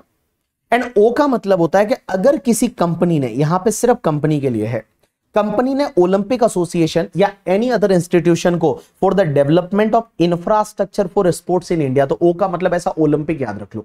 या ओलंपिक एसोसिएशन या एनी अदर इंस्टीट्यूशन को इंडिया में अगर स्पोर्ट्स डेवलपमेंट के लिए डोनेशन दिया तो गाइज़ ये दोनों आपके 100 परसेंट लिमिटेड कैटेगरी में आएँगे। 100 परसेंट लिमिटेड में क्या? फो फो फो फो एफ़ का मतलब होता है कि फैमिली प्लानिंग के लिए दिया और ओ का मतलब ओलंपिक एसोसिएशन या किसी और को कंपनी ने दिया। एंड गाइस वो इंडिया में स्पोर्ट्स इंफ्रास्ट्रक्चर के इंक्रीमेंट के लिए दिया है। अब एक आता है एच मोबाइल HTC मोबाइल देखो एच का मोबाइल होता है, उसकी वैल्यू 50 परसेंट हो जाती है तो 50 परसेंट लिमिटेड अब एच में आएगा, अगर आपने डोनेशन दिया हाउसिंग डेवलपमेंट अथॉरिटी को या आपने डोनेशन दिया है रिनोवेशन या repair of is any temple T का मतलब टेंपल गुरुद्वारा मॉस्क चर्च जो रिलीजियस प्लेस होते हैं, उसके रिपेयर रिनोवेशन के लिए डोनेशन दिया। सी का मतलब होता है, यहाँ पे चैरिटेबल पब्लिक चैरिटेबल ट्रस्ट होते हैं, जो एनजीओ होते हैं, उसको डोनेशन दिया। एंड यहाँ पे एम का मतलब होता है माइनॉरिटी कम्युनिटी के प्रमोशन के लिए आपने अगर डोनेशन दिया तो यहाँ पे आपको फिफ्टी लिमिटेड कैटेगरी में डिडक्शन मिलेगा। अब एक बात समझना लिमिटेड कैटेगरी का मतलब क्या होता है? ध्यान देना लिमिटेड कैटेगरी मीन गाइस कि जो भी आपका फो एंड एस मोबाइल है, वो लिमिटेड कैटेगरी में है। तो जितना आपने फोर एंड एस मोबाइल को डोनेशन दिया that should not be more than ten percent of adjusted total income mean आप एक काम करिए कि यहाँ पे जो आपने टोटल डोनेशन दिया है and ten percent of adjusted total income whichever is lower है, उसको कंटिन्यू करिए। अब आप बोलेंगे, ये ten percent of adjusted total income but adjusted total income किसको बोले? तो एडजस्टेड टोटल इनकम के लिए आप एक काम करिए, पहले आप एक काम करिए ग्रॉस टोटल इनकम ले लीजिए। बट ग्रॉस टोटल इनकम में से आप जितनी भी स्पेशल रेट्स वाली इनकम है, उसको हटा दीजिए। L T C G S T C G triple one A L T C G one one two A winning का इनकम उनको सबको हटा दीजिए। तो GTI but other than special rate of income और माइनस कर दीजिए all deduction except eighty G eighty G के डिडक्शन को छोड़ के बाकी सब आप माइनस कर दीजिए, जो भी बचेगा वो एटीआई बचेगा। तो इस एटीआई का 10 परसेंट और एक्चुअल डोनेशन आपने जितना दिया विच एवर इज़ लोअर है, वो आपका एलिजिबल डोनेशन आ जाएगा। That will be your eligible donation और वो एलिजिबल डोनेशन जो आएगा ना, उस पर फिर आपको क्या करना है कि फो वाले पे हंड्रेड दे दो और जो एसटीसी मोबाइल है, उस पर आपको फिफ्टी दे दो। अब एक और चीज़ समझना, इस सेक्शन में आपको डिडक्शन नहीं मिलेगा। अगर दो हज़ार से ज़्यादा का डोनेशन आपने कैश में किया है। मीन 2000 से ज़्यादा का डोनेशन है तो उस पर्टिकुलर केस में क्या करना पड़ेगा? अगर 2000 से ज़्यादा का डोनेशन है तो उस पर्टिकुलर केस में आपको चेक वगैरह उसी से करना पड़ेगा। कैश में नहीं करना ये क्लियरली मना किया है। 2000 से ज़्यादा का डोनेशन आपको कैश में नहीं करना। चलिए उसके बाद में नेक्स्ट सेक्शन आती है एटीजीजी एटीजीजी क्या होती है? कि भैया आप एक बात समझना। आप लोग कहीं पे घर भाड़े पे लेके रहते हैं। तो घर भाड़े पे लेके रहते हैं तो उस पर्टिकुलर केस में अगर एम्प्लॉय होता है तो, तो उसको एचआरए में डिडक्शन मिल जाता है। मतलब अगर कोई एम्प्लॉय उसको एचआरए में डिडक्शन मिल जाता है, लेकिन अगर एचआरए नहीं मिल रहा तो कोई भी एम्प्लॉय या फिर कोई सेल्फ एम्प्लॉयड है, वो एटीजीजी में डिडक्शन ले सकता है अगर वो रेंट पे कर रहा है। यहाँ पे इस सेक्शन में डिडक्शन सिर्फ़ इंडिविजुअल को मिलेगा। कितना मिलेगा? तो यहाँ पे थ्री में से विच एवर इज़ लोअर पहला है फाइव थाउज़ेंड पर मंथ या साल का सिक्सटी थाउज़ेंड बोल सकता हूँ। दूसरा 25 percent of adjusted gross total income and third is a rent paid minus adjusted 10 percent of adjusted total income या एडजस्टेड ग्रॉस टोटल इनकम तो देखो, मैंने क्या बोला? समझने की कोशिश करना। ये डिडक्शन सिर्फ़ इंडिविजुअल को मिलेगा। आप अगर हाउस भाड़े पे लेते हो और उसका रेंट पे करते हो तो डिडक्शन मिलेगा। एलिजिबल डिडक्शन कितना मिलेगा? तो देखिए, सबसे पहला फाइव थाउज़ेंड पर मंथ या पूरे साल का सिक्सटी थाउज़ेंड दूसरा ट्वेंटी फाइव परसेंट ऑफ़ तुम्हारा adjusted gross total income and तीसरा rent paid minus ten percent of the adjusted gross total income whichever is lower है, उतने का डिडक्शन आपको मिल जाएगा। एक और चीज़ समझना, यहाँ पे जहाँ पे आप रेंट पे कर रहे हो ना, उस पे आपकी स्पाउस या आप, या आपका माइनर चाइल्ड या आपका एचयूएफ जिसके पास कोई भी घर नहीं होना चाहिए वहाँ पे। वहाँ पे उसके पास कोई घर नहीं होना चाहिए। अगर वहाँ पे घर है तो आप उस घर में रहो ना, फिर भाड़े पे क्यों रह रहे हो? अब एक और चीज़ समझना, यहाँ पे एडजस्टेड ग्रॉस टोटल इनकम का मतलब होता है ग्रॉस टोटल इनकम लीजिए और उसमें से all deduction under chapter six से लेस कर दीजिए अदर देन एटीजीजी तो आपको मिल जाएगा यहाँ पे एडजस्टेड जीटीआई चलिए, उसके बाद नेक्स्ट सेक्शन आता है एटीजीजीए एटीजीजीए क्या बोलता है बताए एटीजीजीए ये बोलता है कि अगर आप scientific research institution college university को साइंटिफिक रिसर्च के लिए डोनेशन देते हो, आप बोलोगे, ये तो सर हमने पढ़ा था वहाँ पे पीजीबीपी में। बट देखो, जिनका बिज़नेस का इनकम है, वो तो सेक्शन 35 में डिडक्शन ले लेंगे। वहाँ पे था ना, वो राहुल आईसीयू के research association institute college university वगैरह को आप अगर साइंटिफिक रिसर्च के लिए डोनेशन देते हो तो बिज़नेस वाले तो वहाँ पे ले लेंगे बट जिसका बिज़नेस नहीं है, वो क्या करेगा? तो जिसका बिज़नेस नहीं है, अगर आपका बिज़नेस में इनकम नहीं जाता तो वो एसएससी जो है, वो एटी जीजीए में डिडक्शन ले सकता है। हंड्रेड डिडक्शन मिलेगा। यहाँ कंडीशन है, दो हज़ार से ज़्यादा का डोनेशन है तो कैश में नहीं कर सकते, दो हज़ार तक आप कैश में कर सकते हो। उसके बाद eighty GGB and GGC that is donation to electoral trust and political party तो अगर आप political party and electoral trust को डोनेशन देते हो तो आपको डिडक्शन यहाँ पे मिल जाएगा। अगर आप political party and electoral trust को डोनेशन देते हो तो आपको डिडक्शन मिलेगा कहाँ पे? एटी जीजीबी जीजीसी में। अगर देखो इंडियन कंपनी ने डोनेशन दिया ना तो इंडियन कंपनी को एटी जीजीबी में डिडक्शन मिलेगा और any person other than Indian company ने डोनेशन दिया तो एटी जीजीसी में डिडक्शन मिलेगा। डिडक्शन आपको हंड्रेड मिल जाएगा, लेकिन इसमें कंडीशन है कि donation should not be made by any mode other than cash अगर donation should be made by any mode other than cash करके, ठीक है? मीन आपको अदर देन कैश ही डोनेशन देना है। कैश में आपने डोनेशन दिया तो यहाँ पे आपको डिडक्शन नहीं मिलेगा। तो एटी जीजीबी जीजीसी क्या है? पॉलिटिकल पार्टी इलेक्टोरल ट्रस्ट को आप डोनेशन देते हो, आपको डिडक्शन मिलेगा। इंडियन कंपनी ने दिया तो एटी जीजीबी में अदर ने दिया तो एटी जीजीसी में हंड्रेड परसेंट डिडक्शन आपको मिल जाएगा और डोनेशन आपको कैश में नहीं देना। अगर आपने कैश में दिया तो डिडक्शन नहीं मिलेगा। अब अपन बात करते हैं आपके इनकम बेस्ड डिडक्शन की। अब एक बात समझना, सबसे पहले हम इनकम बेस्ड डिडक्शन है वो पढ़ रहे जो पार्ट सी में दे रखे हैं। अंडर चैप्टर सिक्स में कुछ पार्ट्स होते हैं ए बी वगैरह, उसमें सी में दे रखा है पार्ट सी में, जिसको बोला जाता है income based deduction in respect of certain income अब एक चीज़ समझना इनकम बेस्ड डिडक्शन अगर आपको चाहिए ना, और इनकम बेस्ड डिडक्शन कौन कौन से होते हैं? पहली चीज़ तो मैं बता दूँ इनकम बेस्ड डिडक्शन जो section A T I A से लेके 80 आरआरबी के बीच में आते हैं। अब आपको मैं बताऊँ 80 आईए से 80 आरआरबी 80 आईए 80 आईबी वगैरह, वो इंटरमीडिएट में नहीं सीए फाइनल में आता है करके, ठीक है? अब एक बात समझना, जो eighty double J double A है ना, वो भी देखो eighty double J double A तो क्या होता है कि जब आप न्यू एम्प्लॉय रिक्रूट करते हो, नए एम्प्लॉय को अगर आप जॉब देते हो तो उनको जितना सैलरी पे करोगे, उसका थर्टी परसेंट डिडक्शन मिलेगा। ये तो खर्चे का डिडक्शन है बट इन्होंने क्या किया जो हमारे लॉ मेकर्स है, उन्होंने इसको इनकम बेस्ड डिडक्शन में डाल रखा है। ये बेसिकली होना चाहिए था एक्सपेंडिचर बेस्ड डिडक्शन बट उन्होंने क्या कर रखा, इसको इनकम बेस्ड डिडक्शन में डाल रखा है अंडर पार्ट सी करके तो इसको अपन इनकम बेस के साथ ही पढ़ते हैं। तो चलिए, पहली चीज़ तो ये कि इनकम बेस्ड डिडक्शन कौन से होते हैं, जो एटी आई से एटी आरआरबी के बीच में आते हैं। आप लोग इंटरमीडिएट लेवल के लिए इतना याद रखो इनकम बेस्ड डिडक्शन के लिए आपके लिए कौन होंगे? तीन डिडक्शन होंगे। एक तो eighty double J double A एक eighty Q Q B and eighty R R B ये जो तीन डिडक्शन है eighty Q Q B eighty R R B and eighty double J double A ये तीन आपके लिए इनकम बेस्ड डिडक्शन है जो पार्ट सी वाले हैं, ठीक है? और एएमटी कैलकुलेशन में इन तीन को वापस से एडबैक करना पड़ता है, ठीक है? तो चलिए, सबसे पहली चीज़ ये है कि ये इनकम बेस्ड डिडक्शन आपको चाहिए ना तो पहली चीज़ तो आपको अपने रिटर्न में क्लेम करना पड़ेगा। एंड दूसरी चीज़, अगर इनकम बेस्ड डिडक्शन चाहिए तो आपको रिटर्न टाइम पे फ़ाइल करना पड़ेगा। जो रिटर्न फाइलिंग का ड्यू डेट रहता है, वो ड्यू डेट तक आपको रिटर्न फ़ाइल करना पड़ेगा। अगर ये दोनों कंडीशन सेटिस्फाइड हो जाती है, तभी आपको इनकम बेस्ड डिडक्शन मिलेगा। सबसे पहला section eighty double J double eighty double J double का होता है, जामत आ। एटी डबल जे डबल क्या बोलोगे? जामत ना आ आ। एम्प्लॉय को बोल रहे हो आ। तो ये सेक्शन बोलती है कि अगर आप नए एम्प्लॉय रिक्रूट करते हो न्यू एम्प्लॉय रिक्रूट करते हो और आपका बिज़नेस है एंड आपकी ऑडिट हो रही है। तो पहली चीज़ तो आपका बिज़नेस है, आपकी ऑडिट हो रही है ऑडिट हो रही है में टर्नओवर आपका वन करोड़ या टेन करोड़ से ज़्यादा है। आपकी टैक्स ऑडिट हो रही है एंड आपका बिज़नेस है और आप नए एम्प्लॉय को रिक्रूट कर रहे हो तो जितना भी एम्प्लॉय को सैलरी पे करोगे इमोल्यूमेंट्स पे करोगे, उसका थर्टी परसेंट आपको डिडक्शन मिलेगा थ्री कॉन्जिक्यूटिव ईयर के लिए। मीन एम्प्लॉय को आपने इस साल रिक्रूट किया तो उसको इस साल जो सैलरी पे किया, उसका थर्टी परसेंट अगले साल जो सैलरी पे करोगे, उसका थर्टी परसेंट अगले साल जो सैलरी पे करोगे, उसका थर्टी परसेंट आपको डिडक्शन मिल जाएगा। अब एक और चीज़ समझना, यहाँ पे आपके न्यू एम्प्लॉय रिक्रूट होने चाहिए। न्यू का मतलब क्या हुआ? तो ध्यान रखना, अगर आपका first year of the business है तो तो जो जो एम्प्लॉय आप रिक्रूट करोगे, वो सब नए हैं। अगर आपका first year of the business है तो जो एम्प्लॉय आप रिक्रूट करोगे, वो सब नए हैं।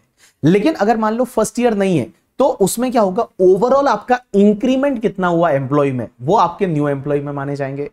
ओवरऑल आपका इंक्रीमेंट कितना हुआ? जैसे फॉर एन एग्जांपल स्टार्टिंग में आपके पास में हंड्रेड एम्प्लॉय थे। आपने उस साल में 15 एम्प्लॉय को ज्वाइन कराया, लेकिन उसमें से आपके फाइव एम्प्लॉय छोड़ के चले गए। तो लास्ट में आपके पास 110 एम्प्लॉय बचे। तो एक बात बताइए ओवरऑल आपका इंक्रीमेंट कितना हुआ? 10 हुआ तो 10 आपके न्यू एम्प्लॉय लिए जाएँगे। तो देखो फ़र्स्ट ईयर ऑफ़ ऑपरेशन में तो क्या होता है, जितने एम्प्लॉय रिक्रूट करोगे वो सब न्यू है, लेकिन अगर मान लो सबसिक्वेंट ईयर ऑफ़ आपका जो बिज़नेस है तो उस पर्टिकुलर केस में आपको देखना पड़ेगा नेट इंक्रीमेंट कितना हुआ, उनको आपको न्यू एम्प्लॉय मानेंगे। एक और चीज़ समझना, ये डिडक्शन उन्हीं एम्प्लॉय के लिए ले सकते हो जिनका सैलरी आपको कैश में पे नहीं करना। सैलरी जो है, वो आपको कैश में नहीं पे करना। Mean account payee cheque account payee demand draft या any mode of electronic clearing system से ही आपको सैलरी पे करना पड़ेगा। अब एक और चीज़ समझना यहाँ पे आपको डिडक्शन तभी मिलेगा जब सबसे पहली कंडीशन यह है कि उस एम्प्लॉय का सैलरी ट्वेंटी या उससे कम होना चाहिए। मीन डिडक्शन नहीं मिलेगा। अगर उस एम्प्लॉय का सैलरी ट्वेंटी फाइव थाउज़ेंड से ज़्यादा है तो उस एम्प्लॉय को छोड़ दो। दूसरा, अगर कोई एम्प्लॉय ऐसा है जिसने 240 डेज़ से कम काम किया है तो उसको छोड़ दो। मीन एम्प्लॉय 240 डेज़ या उससे ज़्यादा काम करना चाहिए। लेकिन इन केस ऑफ़ द अगर मैन्युफैक्चरिंग ऑफ़ द अपेरल्स में हो लेदर में हो, या फिर आप फुटवेयर में हो तो वहाँ पे 240 डेज़ की जगह 150 डेज़ का टाइम देखा जाता है। 150 डेज़ या उससे ज़्यादा काम करना चाहिए। 150 डेज़ से कम काम किया तो आपको डिडक्शन नहीं मिलेगा, वो न्यू एम्प्लॉय नहीं माना जाएगा। तीसरा, वो पार्टिसिपेट करना चाहिए आरपीएफ में। अगर उसने आरपीएफ में पार्टिसिपेट नहीं किया है तो वो तुम्हारे न्यू एम्प्लॉय में नहीं आएगा। And guys employee for whom the entire contribution is paid by the government under the employee pension scheme notified in accordance with the provision of the employee PF and miscellaneous provision act अगर government पूरा pension scheme में पैसा डालती है तो वो वाला employ यहाँ पे नहीं आएगा। तो देखिए, मैं बताया आपका न्यू एम्प्लॉय जो है, उसमें कुछ कंडीशन सेटिस्फाइड करनी चाहिए। कौन कौन सी कंडीशन पहली कंडीशन उसका सैलरी ट्वेंटी फाइव थाउज़ेंड से ज़्यादा नहीं होना चाहिए। दूसरी कंडीशन वो 240 डेज़ या उससे ज़्यादा के लिए करंट ईयर में जॉब किया हो उसने हमारे यहाँ पे। In case of the manufacturing of the footwear apparels and leather के केस में 240 जगह 140 डेज़ 150 डेज़ देखा जाएगा। एंड गाइज़ उसने आरपीएफ में पार्टिसिपेट किया है। एंड उसका जो सैलरी है वो account payee cheque account payee demand draft any mode of electronic clearing system से पे हुआ है। तो आपको डिडक्शन मिल जाएगा, जितना इमोल्यूमेंट पे कर रहे हैं, उसका थर्टी अब एक और चीज़ समझना। अगर कोई एम्प्लॉय ऐसा है, जिसने करंट ईयर में 240 डेज़ काम नहीं किया, जैसे फॉर एन एग्जांपल उसने करंट ईयर में जनवरी में ज्वाइन किया तो Jan Feb March only 90 days काम किया। अब उसने अगले साल 240 डेज़ से ज़्यादा काम किया है। तो क्या अगले साल से डिडक्शन मिलेगा यानी आंसर इज़ यस अगर इस साल में उसने 240 डेज़ या उससे ज़्यादा काम नहीं किया है, लेकिन नेक्स्ट ईयर अगर उसने 240 डेज़ से ज़्यादा काम किया तो नेक्स्ट ईयर में माना जाएगा कि वो नेक्स्ट ईयर में रिक्रूट किया है और नेक्स्ट ईयर में आपको डिडक्शन मिल जाएगा। अब अगर आपको यह डिडक्शन चाहिए तो आपकी बुक्स ऑफ़ अकाउंट से उसकी ऑडिट होनी चाहिए करके, ठीक है? And chartered accountant audit report submit करेगा up to the due date of the audit और ऑडिट का ड्यू डेट क्या होता है? रिटर्न फाइलिंग की ड्यू डेट से एक महीना पहले। उसके बाद एक सेक्शन आती है eighty Q Q B eighty Q Q B Q Q B का मतलब क्वेश्चन क्वेश्चन बुक ऐसा याद रखो। Q Q B question question book तो अगर मान लो आपका बुक का रॉयल्टी है, आपने कोई बुक लिखी है और बुक किस पे लिखी है? या तो लिटरेसी पे लिखी है आर्टिस्टिक या साइंटिफिक नेचर की बुक है। अगर कोई रेजिडेंट इंडिविजुअल है और उसको रॉयल्टी मिलता है तो रॉयल्टी पहले आप अदर सोर्सेज में टैक्सेबल कर दो। उसके बाद में आपको डिडक्शन कितना लेना है, जो भी आपका एलिजिबल रॉयल्टी रहेगा और three lakh rupees whichever is lower है, उतने का डिडक्शन मिल जाएगा। तो देखो, सबसे पहले कोई रेजिडेंट इंडिविजुअल है, उसने बुक्स लिखी है लिटरेसी आर्टिस्टिक साइंटिफिक नेचर की, उस बुक पे रॉयल्टी मिलती है, पहले आप टैक्सेबल कर दो और डिडक्शन आपको मिलेगा अंडर चैप्टर सिक्स से under section eighty Q Q B deduction कितना मिलेगा, जितना आपका एलिजिबल रॉयल्टी है या three lakh whichever is lower लेकिन एलिजिबल रॉयल्टी का मतलब क्या होता है, जैसे मान लो बुक्स पे लमसम रॉयल्टी मिलता है। तो, तो जितना रॉयल्टी मिला वो एलिजिबल रॉयल्टी है। लेकिन लमसम रॉयल्टी नहीं मिलता। आपको रॉयल्टी जो मिलता है, वो मान लो परसेंटेज पे मिलता है कि जितना बुक का वैल्यू का सेल होगा, उसका परसेंटेज मिलेगा। तो यहाँ पे एलिजिबल रॉयल्टी में लेते टाइम आप सिर्फ़ 15 percent of value of the book sold लोगे। जैसे हो सकता है, मैंने कोई आर्टिस्टिक नेचर की बुक लिखी, मैंने किसी पब्लिशर को दी पब्लिशर मुझे रॉयल्टी दे रहा है twenty percent of the book value of sold तो टैक्सेबल तो पूरा ट्वेंटी परसेंट होगा, लेकिन डिडक्शन पर्पज के लिए आपको जब रॉयल्टी लोगे एलिजिबल रॉयल्टी तो एलिजिबल रॉयल्टी आपको सिर्फ़ fifteen of the value of the book sold है, उतना ही लेना है। चलिए उसके बाद में एक सेक्शन आती है एटीआरआरबी एटीआरआरबी क्या बोलती है? रॉयल्टी फ्रॉम द पेटेंट अगर आपने कोई पेटेंट डेवलप किया था और पेटेंट किसी को दे दिया तो पेटेंट पे आपको जो भी मिलेगा रॉयल्टी वो रॉयल्टी पहले आप टैक्सेबल कर दो। एंड उसके बाद उस पर डिडक्शन मिलेगा रेजिडेंट इंडिविजुअल को, जितना आपको रॉयल्टी रिसीव्ड हुआ, या maximum three lakh whichever is lower का डिडक्शन मिल जाएगा। एक और चीज़ समझना, अगर कोई रॉयल्टी है वो आपको इंडिया के बाहर से मिल रही है। अगर इंडिया के बाहर से मिल रही है तो आपको डिडक्शन तभी अलाउ होगा जब वो पैसा आपने इंडिया में रिपेट्रिएट कर दिया है within six month from the end of the previous year तो प्रीवियस ईयर आपका एंड हो जाता है थर्टी मार्च को, छह महीना आपका थर्टी सेप्टेंबर तो थर्टी सेप्टेंबर जो है, तब तक आपको क्या करना पड़ेगा? उस पैसे को इंडिया में रिपेट्रिएट करना पड़ेगा। तभी डिडक्शन पर्पज के लिए उसको लेंगे अदरवाइज़ नहीं लेंगे। चलिए, उसके बाद में कुछ आपके अदर इनकम बेस्ड डिडक्शन और होते हैं। जो कि अंडर चैप्टर सिक्स से पार्ट नंबर सी ए में लिखा जाता है ये अदर इनकम बेस्ड डिडक्शन है एक तो एटीटीटी है एटीटीटी क्या बोलता है कोई भी इंडिविजुअल एच का सेविंग बैंक अकाउंट है यहाँ individual HUF resident non resident दोनों कोई भी हो सकता है इंडिविजुअल एच का अगर कोई सेविंग बैंक अकाउंट है कोऑपरेटिव बैंक के साथ बैंक के साथ या पोस्ट ऑफ़िस के साथ तो सेविंग बैंक का इंटरेस्ट है पहले आप अदर सोर्सेज में टैक्सेबल कर दो और उस पर टेन तक का डिडक्शन है वो आप एटीटीटी में ले सकते हो अब एक चीज़ समझना यहाँ पे एटीटीटी डिडक्शन है एटीटीटी क्या बोलती है बताए कि अगर कोई भी सीनियर सिटीजन है और सीनियर सिटीजन को किसी भी बैंक से कोऑपरेटिव बैंक या पोस्ट ऑफ़िस से इंटरेस्ट मिलता है इंटरेस्ट यहाँ कोई भी चलेगा। सेविंग वाला एफडी वाला आरडी वाला कोई भी इंटरेस्ट चलेगा, वो इंटरेस्ट पहले आप अदर सोर्सेज में टैक्सेबल कर दो और अदर सोर्सेज में टैक्सेबल करने के बाद आपको एटी बी में डिडक्शन मिलेगा। डिडक्शन कितना मिलेगा? जितना आपका इंटरेस्ट का अमाउंट है और maximum fifty thousand whichever is lower का डिडक्शन मिलेगा। तो जैसे कोई सीनियर सिटीजन है, उसको एफ़ पे इंटरेस्ट मिला एंड सेविंग बैंक पे भी इंटरेस्ट मिला। टोटल मिला के इंटरेस्ट सेवेंटी थाउज़ेंड है। तो सेवेंटी थाउज़ेंड को अदर सोर्सेज में टैक्सेबल करो, फिर फिफ्टी थाउज़ेंड का डिडक्शन आप एटी में ले लो। अब एक बात समझना रेजिडेंट सीनियर सिटीजन है जब एटी बी में डिडक्शन फिफ्टी थाउज़ेंड का मिल रहा है तो क्या वो एटी टीटीए में डिडक्शन ले पाएगा? Answer is no eighty TTA नहीं मिलेगा। जब एटी टीटीबी में आप फिफ्टी थाउज़ेंड का ले रहे हो तो ऐसा नहीं कर सकते कि टेन थाउज़ेंड वहाँ पे भी ले लो टोटल सिक्सटी नहीं, ऐसा नहीं होगा। मैक्सिमम आपको फिफ्टी थाउज़ेंड का डिडक्शन मिल जाएगा। चलिए, उसके बाद नेक्स्ट सेक्शन आती है ten double A that is S C Z का डिडक्शन और ये पहले जो है लास्ट टाइम आईसीआई ने इस पार्ट को दे रखा था अदर थर्ड टॉपिक में बट उसको थर्ड टॉपिक को हटा के उन्होंने यहाँ पे दे रखा है। अब एक बात समझना टेन डबल क्या बोलती है कि स्पेशल इकोनॉमिक जोन एस में अगर आप मैन्युफैक्चरिंग बिज़नेस करते हो या सॉफ्टवेयर डेवलपमेंट करते हो मैन्युफैक्चरिंग बिज़नेस करते हो सॉफ्टवेयर डेवलपमेंट करते हो एंड आपको अप्रूवल मिल गया था एस में काम करने का till thirty March two and आपने मैन्युफैक्चरिंग बिज़नेस चालू कर दिया है टिल थर्टी मार्च टू तक तो आपको पंद्रह साल तक डिडक्शन मिलेगा फिफ्टीन ईयर्स तक डिडक्शन मिलेगा। कितना डिडक्शन मिलेगा? First five years of operation में hundred percent of export profit second five year of operation में आपका fifty percent of export profit, third five year of operation में 50 परसेंट ऑफ़ एक्सपोर्ट प्रॉफिट, और जितना आपने एस री इन्वेस्टमेंट रिज़र्व में पैसा डाला विच एवर इज़ लोअर है, उतना डिडक्शन मिलेगा। तो देखो फ़र्स्ट फाइव ईयर्स में 100 percent of export profit second five years में 50 percent of export profit third five year में 50 परसेंट ऑफ़ एक्सपोर्ट प्रॉफिट और एस री इन्वेस्टमेंट रिज़र्व में जितना आपने पैसा डाला विच एवर इज़ लोअर है, उतने का डिडक्शन आपको मिल जाएगा। अब एक बात समझना एक्सपोर्ट प्रॉफिट का मतलब क्या होता है? तो एक्सपोर्ट प्रॉफिट के लिए आपको क्या करना है? सबसे पहले पीजीबीपी का इनकम निकालना है एसईजेड यूनिट का। जो special economic zone SEZ unit है एसईजेड यूनिट का पीजीबीपी का इनकम कितना है वो निकालो। Multiply by export turnover divide by total turnover तो क्या बोला देखो? पीजीबीपी का इनकम निकालो एसईजेड यूनिट का multiply by export turnover divide by total turnover तो आपको यहाँ पे मिल जाएगा एक्सपोर्ट प्रॉफिट अब एक और चीज़ समझना, यहाँ पे गाइस ध्यान देना कि जब भी आप यहाँ पे एक्सपोर्ट टर्नओवर लेते हैं टोटल टर्नओवर लेते हैं। इस एक्सपोर्ट टर्नओवर टोटल टर्नओवर में कोई भी फ्रेट है टेलीकम्युनिकेशन चार्जेस है इंश्योरेंस है या expenses for providing service outside India ये नहीं लेना है।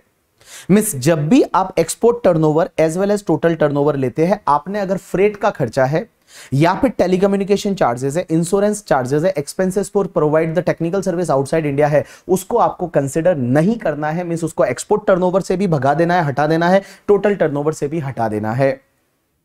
अब एक और चीज़ समझना, यहाँ पे एक्सपोर्ट टर्नओवर में गाइस वही वाला टर्नओवर आएगा, जो आपने इंडिया में ला लिया है उतना पैसा, कब तक? Within the six month from the end of the previous year और टाइम परमिटेड बाय आरबीआई एक बात समझना, जैसे ही तुम्हारा प्रीवियस ईयर कंप्लीट होता है, उस प्रीवियस ईयर कंप्लीट हुआ, उससे छह महीने के अंदर अंदर, जितना टर्नओवर आपने इंडिया में पैसा ला लिया है, पैसा लाया क्या, वैसा वाला, पैसा ला लिया है, उतना ही आपके एक्सपोर्ट टर्नओवर में आएगा बट टोटल टर्नओवर में दोनों आएगा, जितना पैसा आया, नहीं आया। जैसे मान लो आपका हंड्रेड करोड़ का टोटल टर्नओवर है, उसमें से export turnover three crore thirty crore था।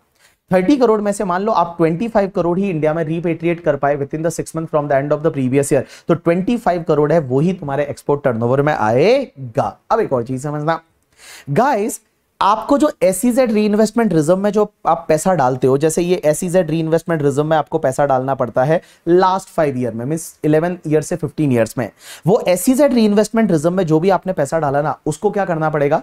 उस पैसे को निकाल के within three years from the end of the previous year in which reserve was created मतलब रिज़र्व क्रिएट किया था उस ईयर के एंड से, तीन साल के अंदर अंदर उस पैसे को निकाल के उससे new plant and machinery acquire करके put to यूज़ करना है। मीन थ्री ईयर्स के अंदर अंदर आपको क्या करना है? जिस ईयर में रिज़र्व क्रिएट किया, उस ईयर का एंड और उसके बाद विद इन थ्री ईयर्स आपको उस पैसे को निकाल के न्यू प्लांट एंड मशीनरी खरीदना है, और उसको आपको पुट टू यूज़ करना है। अगर आप ऐसा करते हो तो चलेगा नहीं किया तो बेटा वापस से वो टैक्सेबल हो जाएगा। जिस ईयर में आपका जैसे थ्री ईयर्स में नहीं कर पाए तो फोर्थ ईयर में वापस से वो टैक्सेबल हो जाएगा। चलिए, उसके बाद में एक और चीज़ समझना, ये डिडक्शन टेन डबल ए का है ना, ये भी आपको अंडर चैप्टर सिक्स में एटीसी एटीडी वगैरह सब लेने के बाद लास्ट में आपको ये डिडक्शन लेना है। अब एक और चीज़ समझना ये वाला पॉइंट जो है आप इसको छोड़ सकते हैं कि जब भी आप प्रॉफिट निकालते हो बिज़नेस का तो बिज़नेस का प्रॉफिट निकालते टाइम अगर आपको कोई cash compensatory support duty drawback या sale of import entitlement license है तो वो वाला इस प्रॉफिट में इंक्लूड नहीं करना। क्योंकि जब एसईजेड यूनिट का प्रॉफिट निकालोगे तो उस प्रॉफिट में cash compensatory support duty drawback and import entitlement license के सेल से जो इनकम होती है, वो इंक्लूड नहीं करना। ये डिडक्शन आपको चाहिए तो सीए का रिपोर्ट सबमिट करना पड़ेगा सीए से ऑडिट कराना पड़ेगा। इसमें यह बिज़नेस अगर आपको करना है तो इसमें जितनी भी प्लांटेड मशीनरी है, वो सब न्यू होनी चाहिए। बट गाइस इसमें दो एक्सेप्शन है। एक तो 20 परसेंट तक आपकी सेकेंड हैंड हो सकती है और दूसरा, जो भी इंडिया के बाहर से इंपोर्टेड प्लांटेड मशीनरी है ना, वो आपका न्यू ही माना जाएगा for the purpose of this section करके। ठीक है? चलिए, अब एक और चीज़ समझना। ये जो डिडक्शन टॉपिक अपन ने पढ़ा, अगर आप डिफ़ॉल्ट टैक्सेशन रिजिम में जाते हो डिफ़ॉल्ट टैक्सेशन रिजिम 115 बीएससी तो 115 बीएससी लेते हो तो आपको दो डिडक्शन नहीं मिलेंगे। एक तो कौन सा नहीं मिलेगा पता है? एक तो अंडर चैप्टर सिक्स ए कोई भी डिडक्शन नहीं मिलेगा। एटी सी से लेके एटीओ तक कुछ भी नहीं मिलेगा। कुछ भी नहीं मिलेगा और एटी सी एटी सी से लेके एटी यू तक कुछ भी नहीं मिलेगा टेन डबल ए भी नहीं मिलेगा मतलब अपन ने जो एटी सी से पढ़ा था ना एटी सी से लेके एटी यू तक कुछ भी नहीं मिलेगा टेन डबल एसीजेड वाला भी नहीं मिलेगा एटी क्यू क्यू बी भी नहीं मिलेगा एटी आर आर बी भी नहीं मिलेगा कुछ eighty T T N E T T B कुछ भी नहीं मिलेगा लेकिन गाइस तीन डिडक्शन मिल जाएँगे कौन कौन से एक तो eighty double J double A जामत आ एम्प्लॉय वाला एक एटी टू जो एम्प्लॉयर नेशनल पेंशन स्कीम में पैसा डालता है उसका एंड सीसीएच जो अग्निपथ कॉर्पस फंड में पैसा डालते हैं उसका। तो ये तीन डिडक्शन आपको मिल जाएँगे। इन तीन को छोड़ के आपको कोई भी डिडक्शन नहीं मिलेगा। तो मैंने क्या बोला? समझने की कोशिश करना। अगर आप 115 बीएससी डिफ़ॉल्ट टैक्सेशन रिजिम में जाते हो तो आपको अंडर चैप्टर सिक्स का कोई डिडक्शन नहीं मिलेगा। एटीसी से यू तक नहीं मिलेगा टेन डबल ए भी नहीं मिलेगा, लेकिन क्या मिलेगा? तीन डिडक्शन मिल जाएँगे। एक तो eighty double J double A जहाँ मत आ वाला। Eighty C C D two and eighty C C H two है, वो आपको मिल जाएगा। अब एक टॉपिक आता है अल्टरनेट मिनिमम टैक्स या जिसको आप ए बोल सकते हैं। अब एक बात समझना, ये ए कब लगेगा? जब आप one one five B S C नहीं फॉलो कर रहे हो। अगर आप 115 बीएससी लेते हो ना तो एएमटी लगेगा ही नहीं। बट अगर आप 115 बीएससी नहीं लेते हो तो आपको एएमटी भी लगेगा। एएमटी क्या होता है? देखो नॉर्मल पहले आप टैक्स निकाल दो नॉर्मल प्रोविज़न के हिसाब से। उसके बाद आपको एएमटी निकालना पड़ेगा। एएमटी का मतलब होता है एडजस्टेड टोटल इनकम का आप 18.5 निकालो। ये ऑल एसएससी के लिए है कंपनी को छोड़ के। तो देखो, आपको क्या करना, पहले नॉर्मल प्रोविज़न के हिसाब से टैक्स निकालो और फिर आप एएमटी निकालो। एएमटी क्या करने का एडजस्टेड टोटल इनकम का 18.5 percent and guys adjusted total income का 18.5 परसेंट एंड नॉर्मल प्रोविज़न के हिसाब से जो टैक्स आएगा विच एवर इज़ हायर आएगा, वो आपको गवर्नमेंट को पे करना है। विच एवर इज़ हायर आएगा, वो आपको गवर्नमेंट को पे करना है। लेकिन आप बोलोगे, सर एडजस्टेड टोटल इनकम कैसे निकालते हैं? तो एडजस्टेड टोटल इनकम यहाँ निकालने के लिए बड़ा सिंपल है। आप एक काम करो, सबसे पहले आपकी जो टोटल इनकम है नेट टैक्सेबल इनकम है, वो ले लो। और उसमें तीन डिडक्शन को वापस एडबैक कर दो। एक तो टेन डबल ए वाला एस e का डिडक्शन लिया है, वो एडबैक कर दो। जो आपने थर्टी फाइव एडी में वो फोर्टीन बिज़नेस होटल ओयो वाला होटल टू स्टार वो हॉस्पिटल वाला cold chain facility warehousing वगैरह, वो सब। तो वो अगर डिडक्शन लिया तो वापस एडबैक कर दो। एंड अंडर चैप्टर सिक्स से अगर आपने इनकम बेस्ड डिडक्शन लिए है इन द हेडिंग सी वाले, वो तीन deduction eighty double J double eighty Q Q B eighty R R B इन तीनों को एडबैक कर दो। तो देखो, आपको एएमटी निकालने के लिए एडजस्टेड टोटल इनकम निकालना है, क्योंकि एडजस्टेड टोटल इनकम का एटीन करना है। तो एडजस्टेड टोटल इनकम कैसे निकालना? उसके लिए आप एक काम करो, पहले आप नेट टैक्सेबल इनकम ले लो टोटल इनकम ले लो। आपकी जो नॉर्मल प्रोविज़न से आई, उसमें तीन डिडक्शन अगर लिए तो ऐड कर दो। कौन कौन से? एक तो टेन डबल एस वाला, एक तुम्हारा थर्टी फाइव वो फोर्टीन बिज़नेस वाला, और eighty double J double eighty Q Q B eighty R R B उसको एडबैक कर दो। अब एक बात समझना, जब आप 35 एडी को यहाँ डिसअलाउड कर रहे हो एडबैक कर रहे हो तो अगर 35 एडी ना होता, ना लिया होता तो कितना डेप्रिशिएशन अलाउ होता? वो आप लेस कर दो। जो बचेगा वो एडजस्टेड टोटल इनकम इस एडजस्टेड टोटल इनकम पे आप 18.5 परसेंट ले लो that is call your AMT अब एक बात समझना, जब आप 18.5 परसेंट लोगे तो क्या इसमें सरचार्ज भी और ऐड करना है? That depends on adjusted total income अगर ये एडजस्टेड टोटल इनकम 50 लाख से ज़्यादा है अप टू वन करोड़ है तो 10 परसेंट सरचार्ज ऐड करो। वन करोड़ से टू करोड़ तक है तो 15 परसेंट टू करोड़ से फाइव करोड़ तक है तो 25 परसेंट और फाइव करोड़ से ज़्यादा है तो आपको 37 परसेंट सरचार्ज ऐड करना है। उसमें हेल्थ एंड एजुकेशन से फोर परसेंट ऐड करना है। और उसके बाद लास्ट में कंपेयर करना है कि एएमटी और normal tax whichever is higher है, वो पे करना पड़ेगा। अब एक चीज़ समझना, ये एएमटी का फंडा नहीं लगेगा कब? एक तो अगर एडजस्टेड टोटल इनकम किसी का आता है, वो ट्वेंटी लैख से कम है। मीन ट्वेंटी लैख या उससे कम है तो आप पे एम नहीं लगेगा। और दूसरा, अगर गाइस आप लोग जो है, ध्यान रखना, अगर ये डिडक्शन ही नहीं ले रहे तो आपको एएमटी नहीं लगेगा। तो एएमटी उन्हीं लोगों को लगेगा जो ten double A thirty five AD या फिर eighty double J double eighty Q Q B eighty RRB के डिडक्शन लेते हो। तो आप ये समझो ना एएमटी सिर्फ़ पाँच लोगों को लगेगा। टेन डबल ए का डिडक्शन ले रहे हो, थर्टी फाइव एडी का डिडक्शन ले रहे हो, eighty double J double eighty Q Q B, eighty R R B. अगर इसके डिडक्शन ले रहे हो तो ही आपको एएमटी लगेगा अदरवाइज़ एएमटी नहीं लगेगा। अब एक बात समझना, एक कॉन्सेप्ट आता है एएमटी क्रेडिट एएमटी क्रेडिट क्या होता है? कि अगर मान लो कभी भी आपका एएमटी जो है, वो नॉर्मल टैक्स से ज़्यादा है। मीन जो नॉर्मल टैक्स आता है, उससे एएमटी ज़्यादा है। तो जितना एएमटी ज़्यादा है ना, उतना आपको क्रेडिट मिलेगा, जिसको एएमटी क्रेडिट बोला जाएगा। और वो एएमटी क्रेडिट आप नेक्स्ट 15 असेसमेंट ईयर तक उसको कैरी फॉरवर्ड कर सकते हो। लेकिन एएमटी क्रेडिट को आप यूटिलाइज कब करोगे पता है? जिस ईयर में आपका नॉर्मल इनकम टैक्स ज़्यादा है as compare to AMT normal income tax ज़्यादा है एज कंपेयर टू एएमटी तो जितना डिफरेंस है ना, उस डिफरेंस में आप क्या कर सकते हैं? एएमटी क्रेडिट यूटिलाइज कर सकते हैं। तो देखो एएमटी क्रेडिट बनेगा कब? जिस ईयर में एएमटी ज़्यादा है नॉर्मल टैक्स से, उस ईयर में एएमटी क्रेडिट बनेगा जितना डिफरेंस है वो। एंड उसको यूटिलाइज कब करेंगे? जिस ईयर में आपका नॉर्मल टैक्स ज़्यादा है एएमटी से तो उस ईयर में आप उसको एएमटी क्रेडिट को यूटिलाइज करेंगे। You got my point or not yes so guys this is the completion of your deduction topic so guys आपको अच्छा लगा होगा ये रिविजन uh, लेक्चर आप इसको कम से कम दो चार बार रिविजन लेक्चर को देखिए। आरटीपी करिए आर आरटीपी करिए एम करिए और जितने क्लास में हमने क्वेश्चन किए हैं उस पर आप ध्यान दीजिए। आप आराम से पास हो जाएँगे। टेंशन मत लो इस बार रिज़ल्ट अच्छा रहने वाला है। बट बस लास्ट कुछ डेज़ है। लगा लो अपना जितना लगा सकते हो, जितनी आप में हिम्मत है put your hundred percent because मैं हमेशा बोलता हूँ give your hundred percent I will give you fifty percent and we need only fifty percent to crack the exam so बस जल्दी ही पास होने वाले हैं। मेहनत करिए, बाकी सब चीज़ें, जितनी भी डिस्ट्रक्शन लाइफ में चल रही है इधर उधर की बातें सोशल मीडिया ये वो सब छोड़िए, आपका एक ही फोकस होने वाला है। एग्ज़ाम कभी भी हो, कोई फ़र्क नहीं पड़ता, और बेटा एग्ज़ाम जो है, वो टाइम पे होने वाले, ऐसा लग रहा है। तो जब एग्ज़ाम टाइम पे होने वाले हैं और देखो, पास तो वही होने वाले हैं जो पढ़ने वाले और रिज़ल्ट इतना ही रहने वाला है। ट्वेंटी ट्वेंटी फाइव परसेंट या टेन से लेके ट्वेंटी परसेंट के बीच में रिज़ल्ट रहने वाला है, या ट्वेंटी फाइव परसेंट भी जा सकता है एक ग्रुप का। तो गाइज़ जब रिज़ल्ट इतना ही रहने वाला है तो जो पढ़ेंगे वही पास होने वाले हैं। सिंपल सी बात है, सबकी हालत एक जैसी है। सबको एक्सपेक्टेशन था एग्ज़ाम की डेट बढ़ेगी बट नहीं बढ़ी तो कोई फ़र्क नहीं पड़ता। जितना आपने किया है, जितनी हिम्मत है आपने, उतना आप लगा लीजिए करके, ठीक है? चलिए thanks a lot people that's enough for today from my side